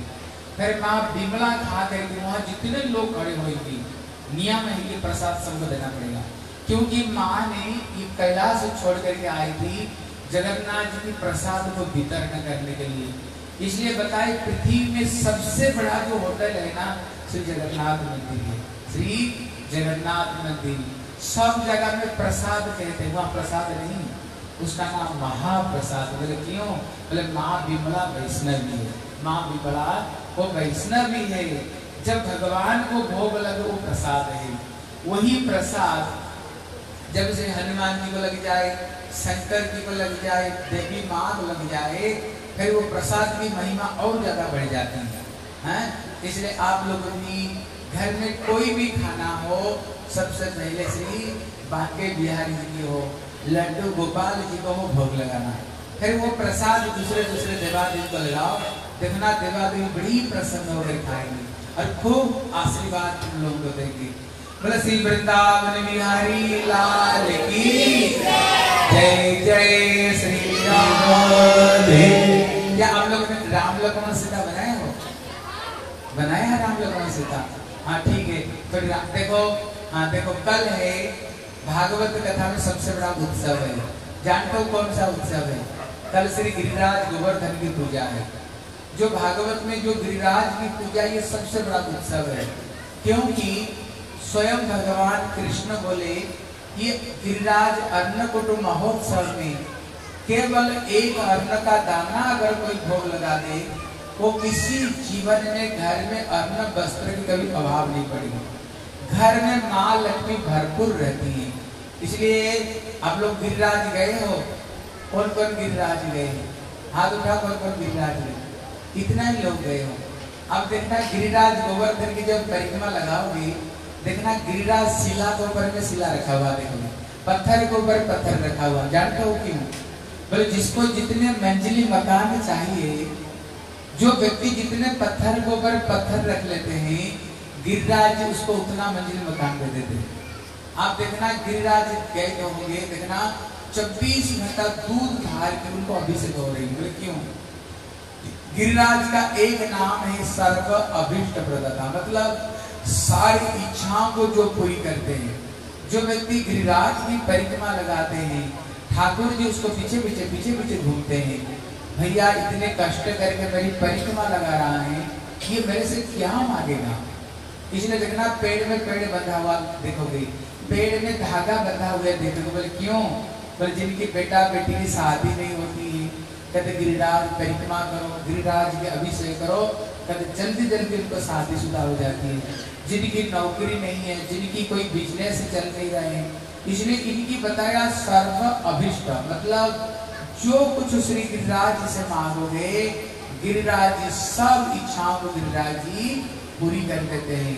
इसलिए भगवान जब ये दुनिया छोड़ करके गए, कृष्ण केवल तीन चीज़ हमारे लिए रख कर गए वो तीन चीज़ क्या है। पहला नंबर श्री गिरिराज महाराज, दूसरे नंबर में ब्रजधाम, और तीसरे नंबर में इसे जमुना पटगाना। कृष्ण का समय से केवल यही तीन चीज़ आपको देखने को मिलेगी। इसलिए ये गिरिराज को सबसे बड़ी देवता कलियुग में श्री गिरिराज को मानी गई। अभी अधिक महीना चल रहा है ना, आप लोग हो सके तो ज़रूर जाए ये अधिक महीना में परिक्रमा लगाने का इतने पुण्य अगर आप लोग जाओगे ना, हज़ार हज़ार लोग, हज़ार नहीं, लाख लाख लोगों को देखोगे, परिक्रमा करते हुए गिरिराज क्यों? इसी महीना में कोई थोड़ी सी अगर पुण्य कर्म करे, उसको बहुत पुण्य मिलता है। इसलिए हो सके तो इसी महीना में ज़रूर एक बार गिरिराज में जाना। बताओ कौन जाना चाहते हैं? गिरिराज कौन जाना चाहते हो? हाथ उठाओ। जाना भी नहीं चाहते हो? इसलिए एक, यहाँ पर एक समय सब लोग मिल करके, हैं? सब लोग मिल करके कोई गाड़ी ले लेना, नहीं तो कोई बस ले लेना, फिर पैसा कम हो जाएगा, हैं? एक बड़ी गाड़ी ले लो और सबके सब एक दिन में जाओगे, एक दिन में वापस आ जाओगे, हैं? अगर थोड़ी शाम को जाओगे, अभी गर्मी है ना, रात में परिक्रमा लगाने का आनंद है। थोड़ी सी शाम को जाओ रात में पूरा परिक्रमा लग जाएगी। परिक्रमा लगा कर फिर सवेरे अपना घर में एक दिन में वापस आ जाओगे ठीक है? इसलिए कल श्री गिरिराज पूजा है कल। इसलिए आप लोग अपना घर से कुछ ना कुछ बना कर खिलाना। जैसे कोई मिठाई हो, कोई फल हो, नहीं तो अगर कढ़ी चावल बना सकते हो, नहीं तो कोई हलवा बना सकते हो, जो कुछ आप बढ़िया चीज़ बनाते हो, कल गिरिराज के लिए थोड़ा बना करके आप लाना। क्योंकि कृष्ण स्वयं ये बात को बताए, एक अन्न का दाना जो गिरिराज की सेवा में लगाता है, कहते किसी जीवन में बोले एक जन्म नहीं, बोले वो किसी जीवन में घर में अन्न वस्त्र की अभाव नहीं पड़ेगी माँ लक्ष्मी घर में भरपूर रहेगी ये स्वयं गिरिराज के मुँह से ये वाणी निकली हुई। इसलिए कल श्री गिरिराज अन्नकूट महोत्सव बड़े धूमधाम से बनाएँगे ठीक है? और शायद किसी भक्तों के घर में गिरिराज के ले आना, फिर बीच में रख करके हम उसको यहाँ यहीं भी परिक्रमा कर लेंगे गिरिराज की। बोले, श्री गिरिराज महाराज की। ज़ोर से लेकर लगाओ। बोले, श्री गिरिराज महाराज की।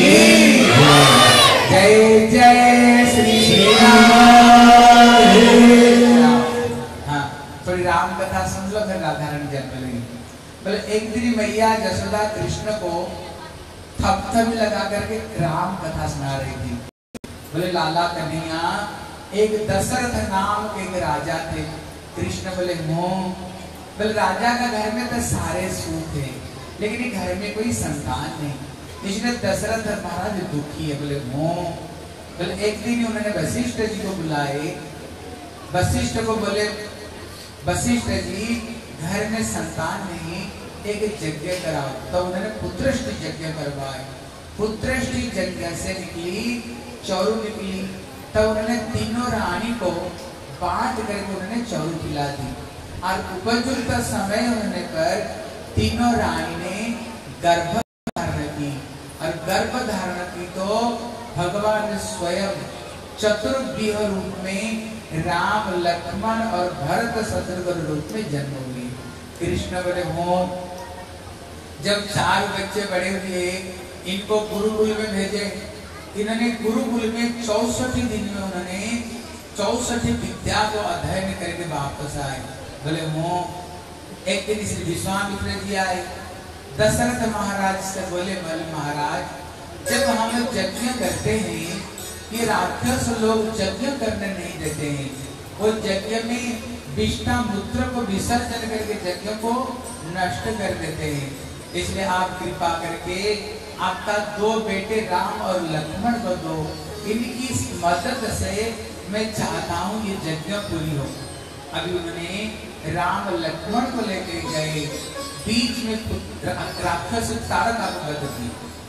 जब श्री विश्वामित्र जी के आश्रम पर पहुँचे, विश्वामित्र जी यज्ञ प्रारंभ किया। राम लक्ष्मण दोनों जितने राक्षस आए, सबको मार मार कर उन्होंने सबको ध्वंस कर दिया जब वो यज्ञ पूरी हो गई, विश्वामित्र जी बोले, राम, एक यज्ञ तो तुमने पूरी कर दी, लेकिन एक यज्ञ सिर्फ़ मिथिला में हो रही है। वो यज्ञ भी तुम्हें पूरी करना पड़ेगा। अभी उन्होंने राम लक्ष्मण को लेकर गए। बीच में माता आलिया को उन्होंने उद्धार की जब पहुँचे विश्वामित्र कहा श्री जनकपुरी में पहुँचे तो श्री विश्वामित्र जी, राम लक्ष्मण को बोले "लक- राम लक्ष्मण जाओ, तुम बगीचा से पुष्प चयन करके लाओ, मैं ठाकुर को पूजा करना चाहता हूँ। भगवान राम, जब वाटिका में प्रवेश किया, जितने फूल थे सबके सब खिल गए। भगवान राम जो खिले हुए फूल को चयन कर रहे थे लेकिन जो अधखिले जो कलियाँ थी, वो सब के सब रो रहे थे। लेकिन लक्ष्मण पीछे पीछे पीछे पीछे चल रहे थे। लक्ष्मण बोले, भैया, क्यों रो रहे हो? बोले, रोएँगे नहीं क्या, हंसेंगे? अगर आज भी हम खिले हुए होते ना, प्रभु राम हमें भी स्वीकार करते थे। लेकिन देखो, हम अधखिले कली है ना, ठाकुर जी हमें स्वीकार नहीं करते। बोले, चिंता क्यों करता हूँ? मैं हूँ ना इतने में लक्ष्मण जी वो अधखिले कलियों को तोड़ना शुरू की। बोले, प्रभु, आज मेरे मन में इच्छा है अपना हाथों से आपको श्रृंगार करना। बोले, कोई बात नहीं। जो अधखिले कलियाँ थी, बड़ी सुंदर उन्होंने गुच्छा बना करके प्रभु का राम का चोटी को बड़ी सुंदर श्रृंगार कर दी। लेकिन खिले हुए फूल कहाँ पर? बोले, प्रभु का हाथों में। बोले अधखिले कली कहाँ पर? बोले, प्रभु की चोटी में। बोले, इसका मतलब क्या है? बोले, इसका मतलब है अधखिले मतलब होता है, अगर हमारी अंदर में कोई योग्यता नहीं है, लक्ष्मण कौन है? बोले गुरु जी अगर हम श्री गुरु जी की शरण में आ जाए ना, हम अधखिले होने पर भी वो क्या करेंगे? हमें ठाकुर जी की सेवा में लगा देंगे। अगर खिले हुए हो, सारे गुण हमारे अंदर में, लेकिन अगर हम श्री गुरु जी की शरण में नहीं जाएँगे, फिर तो हम ठाकुर जी को सेवा में लग नहीं सकते। इतने में माँ सीता भी उसी समय में गौरी पूजा करने के लिए आए थे। राम जीवन में पहला बार उन्होंने श्री सीता जी को देखे और सीता जी प्रभु राम को देखे। दोनों दोनों को पहचान लिए ये मेरे प्रभु है और ये मेरी शक्ति है। जब वहाँ से वापस आए राम लक्ष्मण को कह रहे हैं, बोले, लक्ष्मण रघुकुल रीति सदा चली आई, प्राण जाए बरु बचन न जाए। हमारी वंश में मैंने कभी भी किसी स्त्रियों को जीवन में नहीं देखा, कभी भी नहीं देखा। लेकिन जीवन में पहला बार मैंने ये सीता को देखा। लेकिन जब से मैंने ये सीता को देखा है, तब से पता नहीं मेरे मन में कुछ उथल पुथल सा हो रहा है। लगता है जो सीता है ना ये तेरी ये भाभी बनने वाली ये सीता है। क्योंकि कभी भी दूसरे स्त्री को देख करके मन मन में कभी हिलोड़ नहीं आई लगता है ये तुम्हारी भाभी बनने वाली है। अभी श्री जनक महाराज की प्रतिज्ञा है। ये धनुष को उठा करके परशुराम जी का धनुष, सीख धनुष को जो उठा करके उसमें प्रत्यंचा चढ़ा दे, उसको साथ में मेरी बेटी सी, जानकी की शादी होगी कहते वहाँ पर बड़े बड़े राजा लोग आए हुए थे। वहाँ रावण भी आया था धनुष उठाने के लिए, लेकिन उसने भी धनुष को उठा नहीं सका। लेकिन जब किसी ने धनुष को उठा नहीं सका, लेकिन श्री जनक महाराज जी को पता है, ये धनुष केवल ये राम ही उठाएगा और कोई ये धनुष को उठा नहीं सकते हैं। लेकिन ये राम ऐसे उठेंगे नहीं। गोस्वामी जी एक उदाहरण दिए। कद श्री लक्ष्मण कौन है? बोले हैं बोले झंडा कौन बोले राम। बोले पहले डंडा थोड़ा होगा, फिर झंडा खड़ा होगा। पहले लक्ष्मण को खड़े खड़े पर राम खड़ा होगा। नहीं तो राम खड़े होने वाले नहीं। इतने में जनक महाराज जी थोड़ी सी कड़ी वचन सुना दिए। बोले लगता है ये पृथ्वी, ये वीर शून्य हो गया है।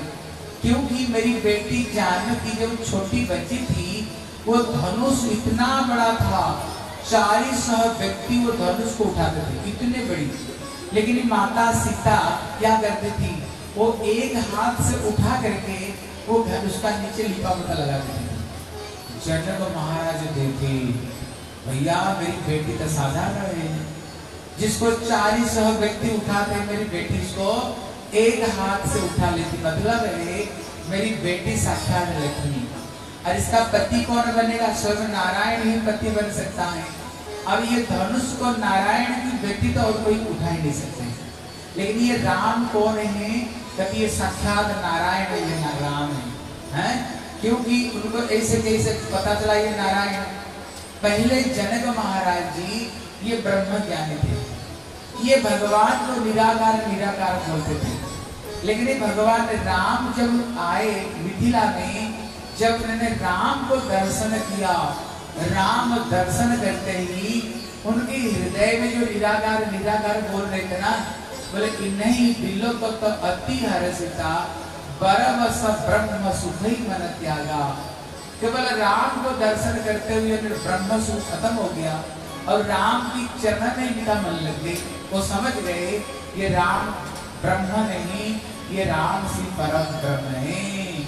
इतने में श्री जनक महाराज जी खड़ी हो खड़े होकर के थोड़ी सी कड़ी वचन सुना दिए। बोले, जिस धनुष को मेरी छोटी बेटी सीता एक हाथ से उठा लेती है और यहाँ पर इतने बड़े बड़े राजा बैठे हुए हैं, ये कोई टस कर मस तक भी नहीं कर पाए। लगता है ये पृथ्वी पृथ्वी वीर शून्य हो गया। जब उन्होंने इतनी सी बात बताई, इतने में लक्ष्मण वहाँ पर थे ये लक्ष्मण कौन है बोले ये साक्षात श्री धरणीधर ये अनंत नाग है। एक सर्प होता है, जो मणिधर सर्प अगर वो मणि को कोई छेड़ देना वो फिर उसको खा जाता है। कहते यहाँ पर मणिधर सर्प कौन? बोले भगवान राम है। कहते ये मणि सदृश कौन है? बोले राम है। अगर राम का कोई छेड़ देना, ये लक्ष्मण छोड़ने वाले नहीं। इतने में लक्ष्मण को तो बड़ा क्रोध आ गया। बोले, महाराज, जनक, चुप बैठो। इतने बड़ी बात ये पृथ्वी वीर शून्य हो गया। आपको पता नहीं यहाँ पर कौन बैठे हुए हैं। ये अनंत कोटि विश्व ब्रह्मांड का मालिक बैठे हुए। और हम तो बचपन में ऐसे कितने धनुष को खेलते खेलते तोड़ डाले। ये विश्व ब्रह्मांड को मैं एक कच्चा घड़े का भांति चकनाचूर कर सकता हूँ। क्यों लक्ष्मण कौन है? लक्ष्मण को ये अनंतनाग है, जो विश्व ब्रह्मांड जिनके सर पर रखा हुआ है। इतने में राम सुन करके बोले, लक्ष्मण, चुप बैठ। यहाँ पर गुरु जी बैठे हुए हैं। पहले गुरु जी को तो आदेश देने दो। इतने में श्री विश्वामित्र जी बोले, लक्ष्मण राम बेटा जाओ। ये धनुष को उठा करके श्री जनक महाराज का हृदय में जो ताप को दूर करो। अभी गुरु जी की आदेश को पा करके श्री राम धीरे धीरे धीरे धीरे आगे चल रहे हैं। और सामने माँ जानकी बरमाला लेकर खड़ी हुई। हरे कृष्ण, हमारे विश्राम को सो बच्चे तैयारी है, ला- राम लक्ष्मण सीता उनको यहाँ ला कर खड़े कर दो। जब मैं बोलूँगा, उनको ले आना। ठीक है? अभी हरे कृष्ण, आप मेरे तरफ़ पे तो उधर भी मत देखो। हरे कृष्णा। अभी श्री माता जाने के सामने खड़ी हुई बरमाला लेकर के।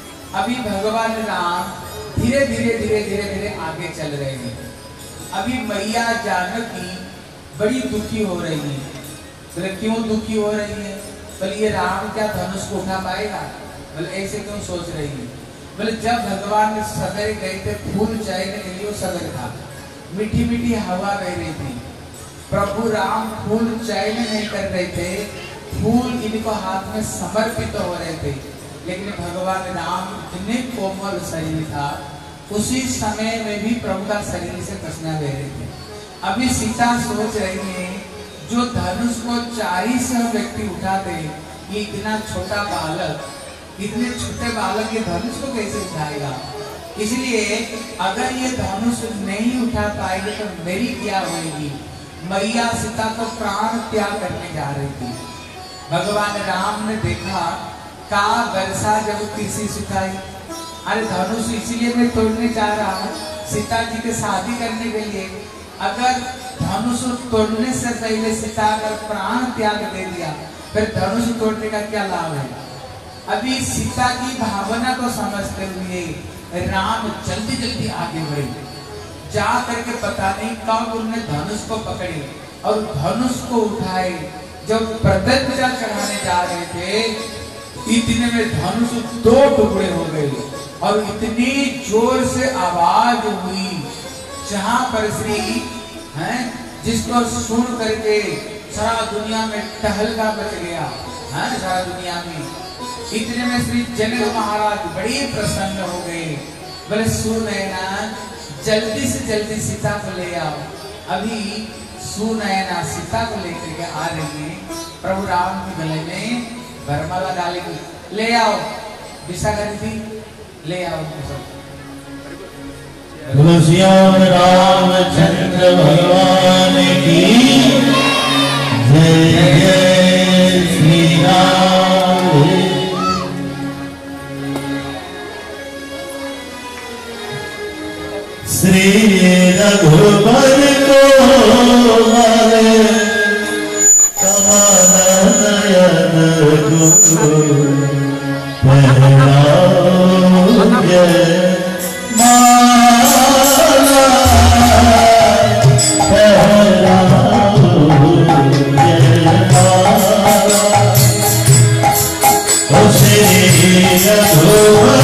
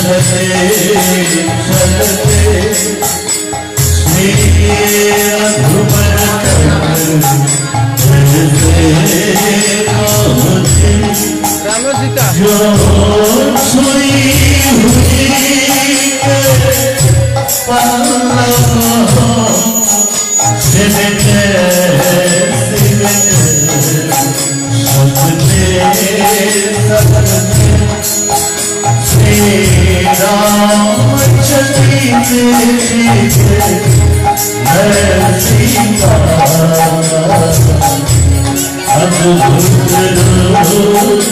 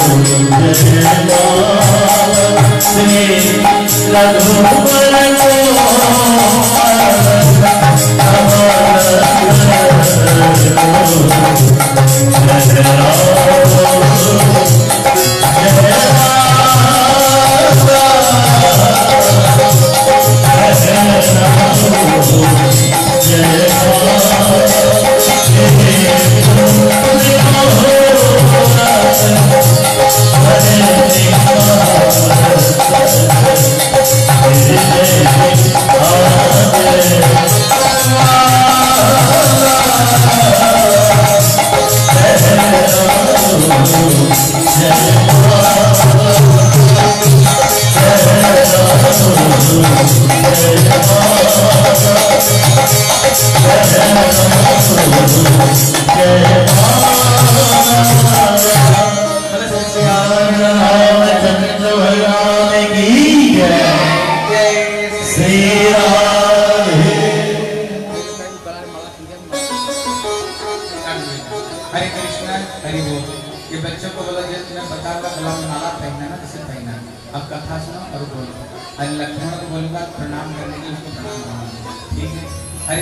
हरे बोल।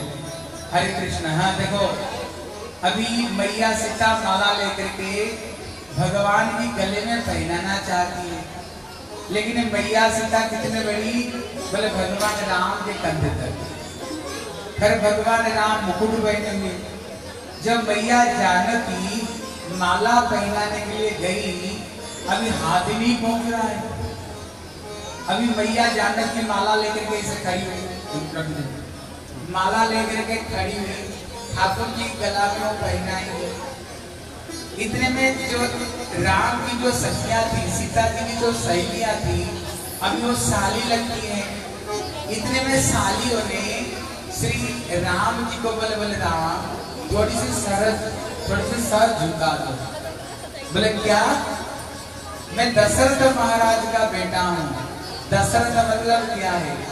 जिनका दस दिशाओं में रथ चलता था, इसलिए इनका नाम दशरथ। बोले, मैं दशरथ महाराज का बेटा हूँ। अभी तक हमारी वंश में किसी ने भी, किसी भी चरण में सर नहीं झुकाए। और अभी शादी भी नहीं हुई। बोले, सर झुका दो। मैं सर नहीं झुका सकता हूँ। मैं तो ऐसे ही खड़ा रहूँगा।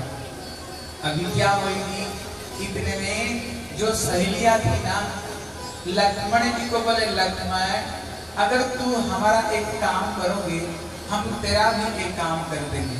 लक्ष्मण बोले, बताओ क्या काम है? बोले देखिए ये सीता देखने में जितने सुंदर है ना, इसकी वह जो छोटी बहन जिसका नाम उर्मिला।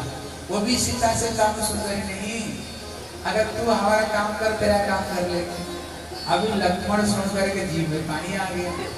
हाँ? शादी की बात है ना लक्ष्मण बोले, भैया, कुछ तो फिर करना ही पड़ेगा।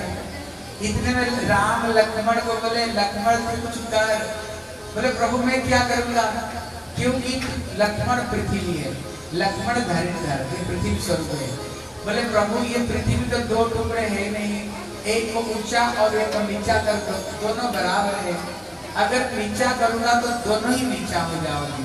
अगर ऊँचा करूँगा तो दोनों ही ऊँचा हो जाओगे। फिर क्या कर? बोले कुछ तो कर तू। देख तेरे भाभी कैसे माला लेकर खड़ी हुई। वो गला में पहना पहना नहीं पा रही है मैं तो बोल दिया सर झुका होगा नहीं। फिर मैं सर झुकाने वाले नहीं तू कुछ कर। अभी प्रभु की भावना समझ करके लक्ष्मण जी प्रभु राम का चरण में प्रणाम लक्ष्मण कौन है?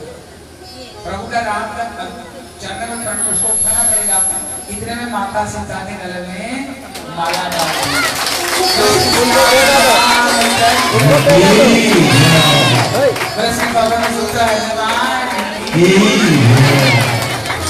जब प्रभु की गला में उसने माला डाल दी अभी जितने देवता लोग थे ना सबके सब स्वर्ग लोग से पुष्पों की बौछार की और सीताराम की जयकार की बस श्री श्यावर रामचंद्र की।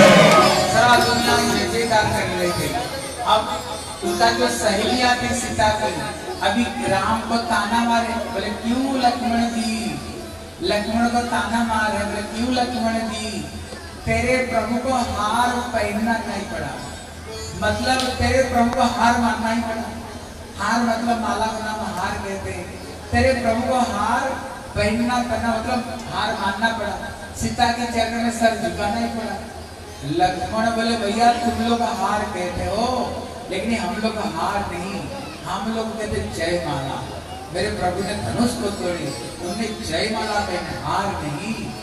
अभी शादी हुई। शादी में अभी श्री जनक महाराज एक बारात भेजे। एक दूत को भेज दिए, कहा, अयोध्या में? बोलो, दशरथ महाराज को खबर दो, राम ने धनुष जोड़े सीता राम की शादी होगी। ये दशरथ महाराज सुन करके इतने प्रसन्न हुए। तब उन्होंने बारात लेकर के आए, जब आए, जनक महाराज सोच रहे थे शायद ये दो ही भाई, राम, लक्ष्मण। लेकिन जब बराती आई ना, देखा ये दो भाई नहीं, ये चार भाई हैं। राम, लक्ष्मण, भरत, शत्रुघ्न, ये चार भाई। अभी श्री जनक महाराज देखा भैया, हमारा पास में चार बेटी, सीता, उर्मिला सुतकीर्ति और मांडवी यदि ये चार बेटी, ये साक्षात लक्ष्मी स्वरूपी, और इनको पास में चार बेटे। बोले, भैया जोड़ी तो बड़ी प्यारी पड़ी जोड़ी तो बड़ी प्यारी है। इतने में से जनक महाराज वशिष्ठ जी को बोले, श्री श्री दशरथ महाराज को बोले बोले, आपका चार बेटे और हमारे पास में चार बेटी है, अगर आपकी इच्छा हो ना, हम चाहते हैं ये चार बेटियों को आपको चार बेटों को दे दे। अगर आप राज़ी हो तो ऐसे करते हैं। तब उन्होंने श्री गुरु जी को पूछे, वशिष्ठ जी को, वशिष्ठ बोले, कोई बात नहीं, आपको तो बहु ढूंढना ही पड़ेगा। और इतने ऊँचे वंश श्री जनक महाराज, परम ब्रह्म ज्ञानी है। इसलिए कोई चिंता मत करो, हम चाहते हैं। फिर क्या हुआ एक साथ में चार भाइयों की, चार बहुओं को साथ में शादी हो गई। जब शादी हो गई, पहले शादी के बाद में झट नहीं मिलते थे। शादी को बाद में चार दिन को बाद में फिर जाने के मिलते थे। इतने में जितने सीता जी की सहेलियाँ थी, इन्होंने ये चार ही बहुओं को बड़ी सुंदर सज्जा करके दुल्हनी बना करके इतने बड़े बड़े घूंघट निकाल करके चार भाइयों को पास में ले आए। बोले, देखो राम, लक्ष्मण, भरत, शत्रुघ्न, तुम लोग चार ही भाई हो और ये तुम्हारी चार ही बहुएँ हैं। छांट लो कौन किसकी बहू है? अभी चार भाई तो बड़े विपत्ति में पड़ गए। अभी तो कोई अपना बहू को देखा ही नहीं अभी तक। इतने में सहेलियाँ भी देख रहा छोटे भाई का जो बहू है ना ये होते हैं अपना बेटी के बराबर। तीनों भाई को सावधान कर दिया। बोले बड़े भाई का जो बहू है, वो होती है माँ के बराबर। अगर अपना छोटे भाई को बहू बहू बोले ना, ये बड़ा पाप है। इसलिए छांट करके ले लो। चार भैया तो बड़े दुखी हो गए, अभी क्या करें? बोले, ध्यान से, माता बैठो अभी बैठो। दो दो मिनट बाद अभी इतने में राम ने बहुत सोच सोच करके बोले, भैया, ये मेरी बहू है। देखा, अपना सही बहू को छाट लिए। भारत को बोले, तुम्हारी बहू कौन उन्होंने भी सोच सोच करके बोले, ये मेरी बहू है। बोले, भैया, ये सही सही बता रहे हैं। इतने में शत्रुघ्न को बोले बताओ तुम्हारी बहू कौन है? वो चारों में अपना बहू को छाट लिया। लक्ष्मण को बोले, तुम्हारी बहू कौन है? वो भी अपना बहू को छाट लिया। इतने में सखियाँ तो बड़े आश्चर्य हुई। बोले, अभी तक तो तुम लोगों ने कोई बहू को देखे ही नहीं। लेकिन तुम्हें पता कैसे चला तुम्हारी ये बहू राम ने कहा, देखो, मैंने दो बार सीता को देखा। जब वाटिका में पुष्प चयन करने गया था, उसी समय माता सीता ने गौरी पूजा करने आई थी। उसी समय मैंने सीता को देख लिया। फिर सीता मेरे गले में माला डाली। उसी समय भी मैंने देखा। इसीलिए मेरे को पता चला मेरी बहू कौन है।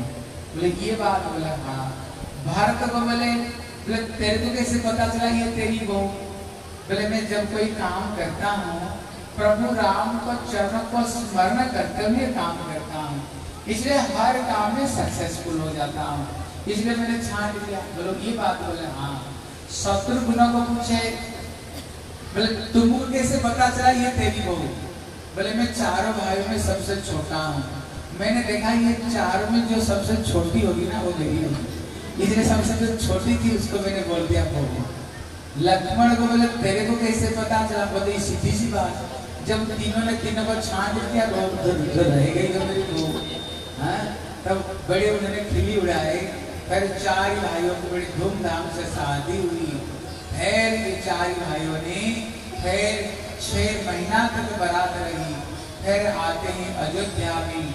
जब अयोध्या में वापस आए कई कई ने जब सीता जी की पहला बार उसने मुँह देखी ना वो मुँह देखा ही में उनके कनक वृंदावन हमने दे दिया हाँ? कनक वृंदावन दे दिया। अभी दशरथ महाराज चाहते हैं, अभी मैं वृद्ध हो गया हूँ, राम को राज्याभिषेक करके मैं भजन करने जाना चाहता हूँ। इतने में मंथरा ने कई कई को बुद्धि को भ्रष्ट कर दी। भ्रष्ट करके बोले, राजा से वर मांगो पहला घर में तेरे बेटा भरत चौथ राजा बनेगा। दूसरी वर वर में रामचंद्र को चौदह साल के लिए वनवास होगी। जब भगवान वनवास में चले गए, एक दिन रावण ने संन्यास रूप धारण करते आया और सीता को उठा कर ले गया। ये कथा कौन किसको सुना रहे हैं? माँ जसोदा कृष्ण को ये कथा सुना रहे हैं। अभी कृष्ण गोद में सोए हुए मैया उनको थपथप लगा करके सुला रही थी। जब उन्होंने इतनी सी बात बताई रावण सीता को उठा करके ले गया, बोले, वही राम कभी कृष्ण बन करके आए। इतना सुन तो ही कृष्ण जो सो रहे थे ना उन्हें खड़े हो गए। बोले, लक्ष्मण लक्ष्मण, मेरे धनुष ला। मैं देखता हूँ रावण कैसे मेरी सीता को उठा करके ले जाएगा। मैया बोले, इसको क्या हो गया? मैया को पता नहीं था, वही राम स्वामी कृष्ण बन करके आए। हैं? ऐसे ही बड़ी प्यारी प्यारी कथा। मैया कन्या को सुनाया करती थी। अभी प्रभु जी राम सीता की शादी हुई है। प्रभु जी बड़े सुंदर के भजन गाएँगे राम शादी की भजन है। हाँ, आप लोग जो देना जो देना देना ठीक है। बोल सियावर रामचंद्र की जय। जय श्री राम। श्री रघुबर के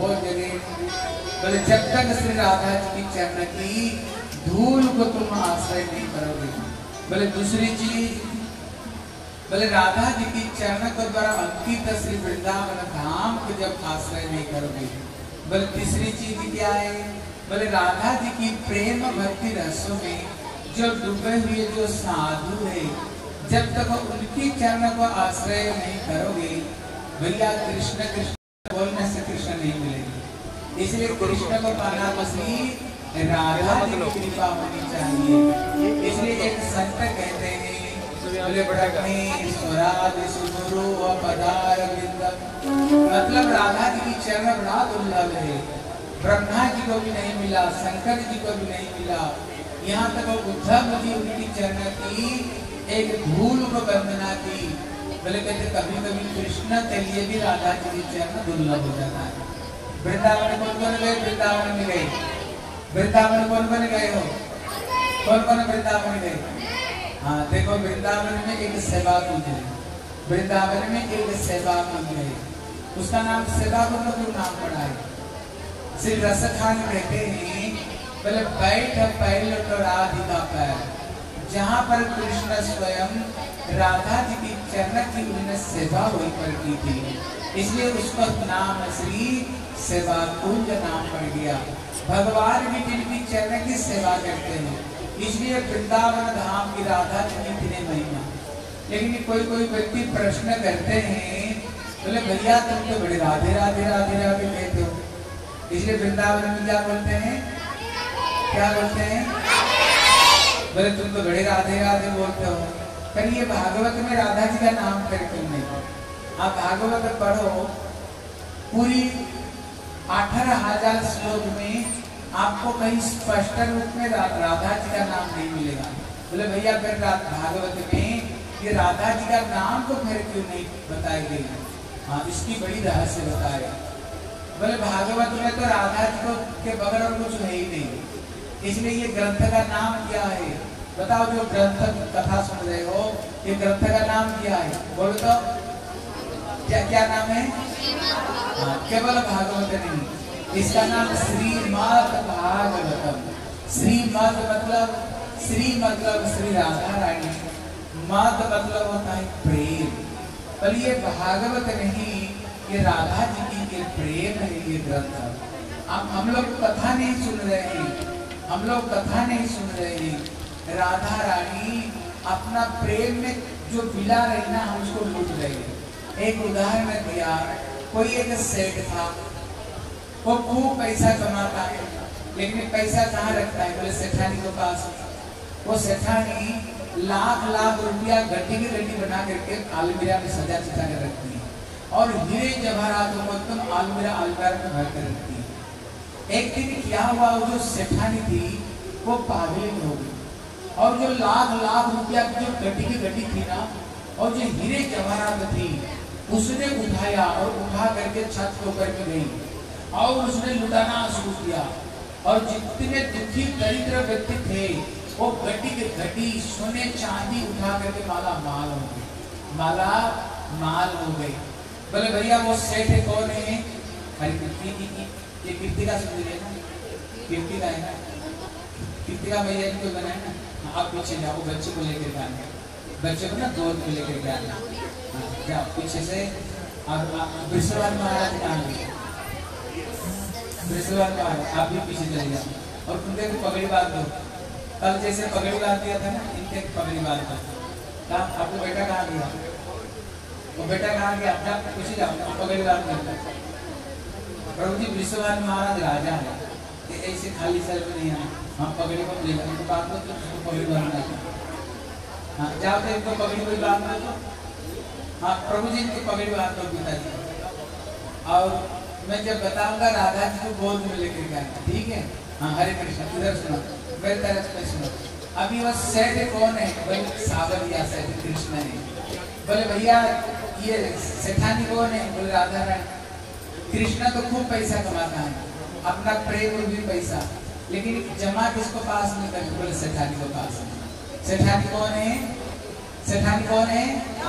राधा रानी जब तक सेठानी की कृपा नहीं होगा ना मिलेगा। लेकिन इस जगत में जैसे पति पैसा कमाता है, लेकिन ला करके किसको देता है? किसको देता है? पत्नी को देता है। अगर कोई पति को कोई ज़रूरत पड़े पैसा की ना, अगर पति, पत्नी से पूछे हज़ार पैसा देना पड़ेगा, फिर पैसा मिलेगा। नहीं तो नहीं मिलेगा। पत्नी बोलेगी इतना पैसा क्यों मांग हो? क्या होगा इतना पैसा? पैसा कमाया किसने? पति ने। पति ने पैसा कमाया। लेकिन पत्नी को हाथ में दिया। लेकिन अगर पति को कोई ज़रूरत है ना, हज़ार पैसा देना पड़ेगा। तो इतना पैसा क्यों मांग रहे हो? इतना पैसा क्या होगा किस लिए मांग रहे हैं? तो उसी तरह कृष्ण तो प्रेम को कमाते हैं। लेकिन रखते हैं कहाँ पर? श्री राधा जी के पास। श्री राधा जी के पास में। इसलिए राधा जी की जब तक कृपा नहीं होगी ना, तब तक भैया कृष्ण प्रेम नहीं मिलेगी। एक दिन श्री राधा रानी कृष्ण प्रेम में दीवानी बनी और उसने छत के ऊपर में गई और जा करके जो हीरे जवाहरात था ना मतलब जो कृष्ण प्रेम था, उसने लुटाना शुरू किया। और आप और हम, जैसे कृष्ण प्रेम के जो कांगार, जो दरिद्र है, भिखारी, हम सबके सब माला माल उठाया और हम भी माला माल हो गए इसलिए बोले, ये भागवत नहीं, ये क्या है? बोले, श्रीमद भागवतम। श्री मतलब राधा रानी जब कृष्ण प्रेम में बाबरी बनती दीवानी बनती है, दीवानी बन करके जब लुटाती है ना, ये भागवत हम नहीं सुन रहे हैं। राधा रानी प्रेम में, कृष्ण प्रेम को जो बिला रही है, ये भागवत है। हम भागवत कथा नहीं कृष्ण प्रेम को हम सत्य समझ रहे हैं। बोले, श्रीमती राधा, रानी की बोले, भागवत में राधा जी नाम क्यों नहीं दी गई? बोले, भागवत में तो राधा ही राधा नाम है। लेकिन जब सुखदेव गोस्वामी एक बार राधा जी का नाम लेते, छह महीना बेहोश हो जाते थे। बोले, भैया, मेरे पास सात दिन की कथा सुनाने का। अगर छह महीना बेहोश हो गया तो मेरे मैं कथा कैसे सुनाऊँगा इसलिए उन्होंने राधा जी का नाम नहीं लिया।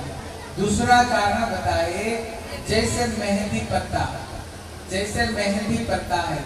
मेहंदी पत्ता देखे हो? और कौन देखे हो। बताओ तो इसका रंग कैसे हरा। लेकिन मेहंदी पता क्या हरा है? क्या है?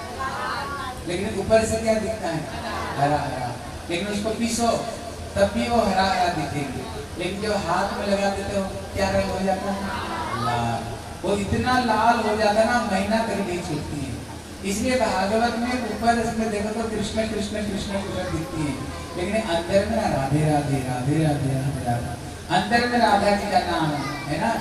इसलिए फिर इसको पीसो। पीसो मतलब साधन करो। जब तक साधन नहीं कर करोगे, तब तक राधा जी नहीं मिलेगी। हैं? इसलिए भागवत में सब जगह में राधे राधे राधे राधे। लेकिन उसको पाने के लिए हमें साधन की ज़रूरत है। श्री वृषभानु महाराज के घर में एक बेटा सी था लेकिन घर में कोई बेटी नहीं। राजा सोच रहे हैं, घर में एक बेटी होनी चाहिए। बोले, क्यों? घर में जब कोई बेटी आती है ना, देखना सारा दुनिया कहते घर में माँ लक्ष्मी आई। घर में माँ लक्ष्मी आई। इसलिए दुखी कोई नहीं होना। अगर इसको घर में बेटी आए ना, ध्यान करके सुना। इसको घर में बेटी आए ना, सारा दुनिया बेटा बेटा के लिए पागल होता है। नहीं। देखो, मैं सारा दुनिया में जाता हूँ। अक्सर करके ज़्यादा मैं देखता हूँ, जब बेटा का शादी हो जाती है ना, कभी घर में इतने क्लेश होता है, सास ससुर घर से मिल जाते हैं। लेकिन जानते हो कहाँ पर आश्रय लेते हैं बेटी के पास। बेटी को पास में बहुत सारी दुनिया में अंदर बिता इसलिए अगर बेटा है ना, पिता कहीं बाहर जा रहे हैं, बेटा बोलेगा, पिताजी, मेरे लिए किया लाओगे। बेटी क्या बोलेगी, जानती हो? पिताजी, कब आओगे? पिताजी, कब आओगे? इसलिए बेटियाँ कभी संपत्ति के लिए दावा नहीं करते। इसलिए बेटी आए तो समझो, घर में माँ लक्ष्मी आई है। बेटियाँ ही आपको देखेंगी, देखो। लेकिन कभी कभी दुख का विषय है ना, बेटी को मार डालते हैं। और बेटा को रक्षा करते बोले, नहीं कैसे नहीं करनी चाहिए। अगर घर में बेटी नहीं हो, माए नहीं हो, ये दुनिया की सृष्टि बढ़ सकती है। चाचा, दादा, ताऊ कहाँ से आएँगे? माता है तभी तो आ रहे हैं। अगर माताएँ नहीं हो तो दुनिया कहाँ से आएगी? दुनिया तो खत्म हो जाएगी। दुनिया खत्म हो जाएगी। इसलिए विश्वभारी महाराज स्वयं सोच रहे हैं, घर में बेटा है लेकिन एक बेटी आए तो कहते घर में लक्ष्मी आई है, घर में इसलिए वो सोच रहे थे। एक दिन ब्रह्म मुहूर्त में स्नान के लिए गए। देखा एक कमल पुष्प ऊपर में, एक सुंदरी लाली, किलकारी मारते हुए वो बहते बहते आ रही थी। इसको देख करके वृषभान महाराज गए और वो लड़की को गोद में उठा ली।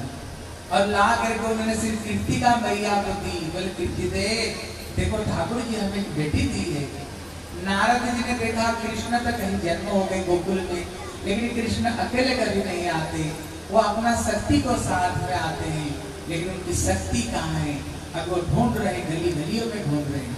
गली गलियों में ढूंढ रहे हैं। जब श्री रावल में आए, वृषभान महाराज से पूछे, घर में कोई संतान भई है? तब उन्होंने बेटे को दिखाया। बोले, बताओ कोई बेटी आएगी नहीं? चुप हो गए। बोले, क्यों जमुना से मिले? बोले हाँ एक बेटी भी है। बोले, ला जब उन्होंने लाए ना देखा, यही राधा रानी। बोले, भैया, इन्हीं कोई तो मैं ढूंढ रहा था। अभी वो चाहते हैं राधा जी को स्तुति करे, बहाना बनाए, थोड़ी सी जा फूल लेकर के आओ। तुम्हारी बच्ची को मैं आशीर्वाद दूँगा। जब गए ना इतने में राधा रानी एकदम किशोरी बन गई। ललिता, विशाखा, सखियाँ प्रकट हो गई। इतने में ललिता कहती है, बाबा, क्या कह रहे हो स्तुति कर नहीं तो राधा रानी अंदर ध्यान हो जाएगी। तो उन्होंने बड़ी सुंदर स्तुति करती है, ले आओ, बच्ची को ले आओ। न्दिते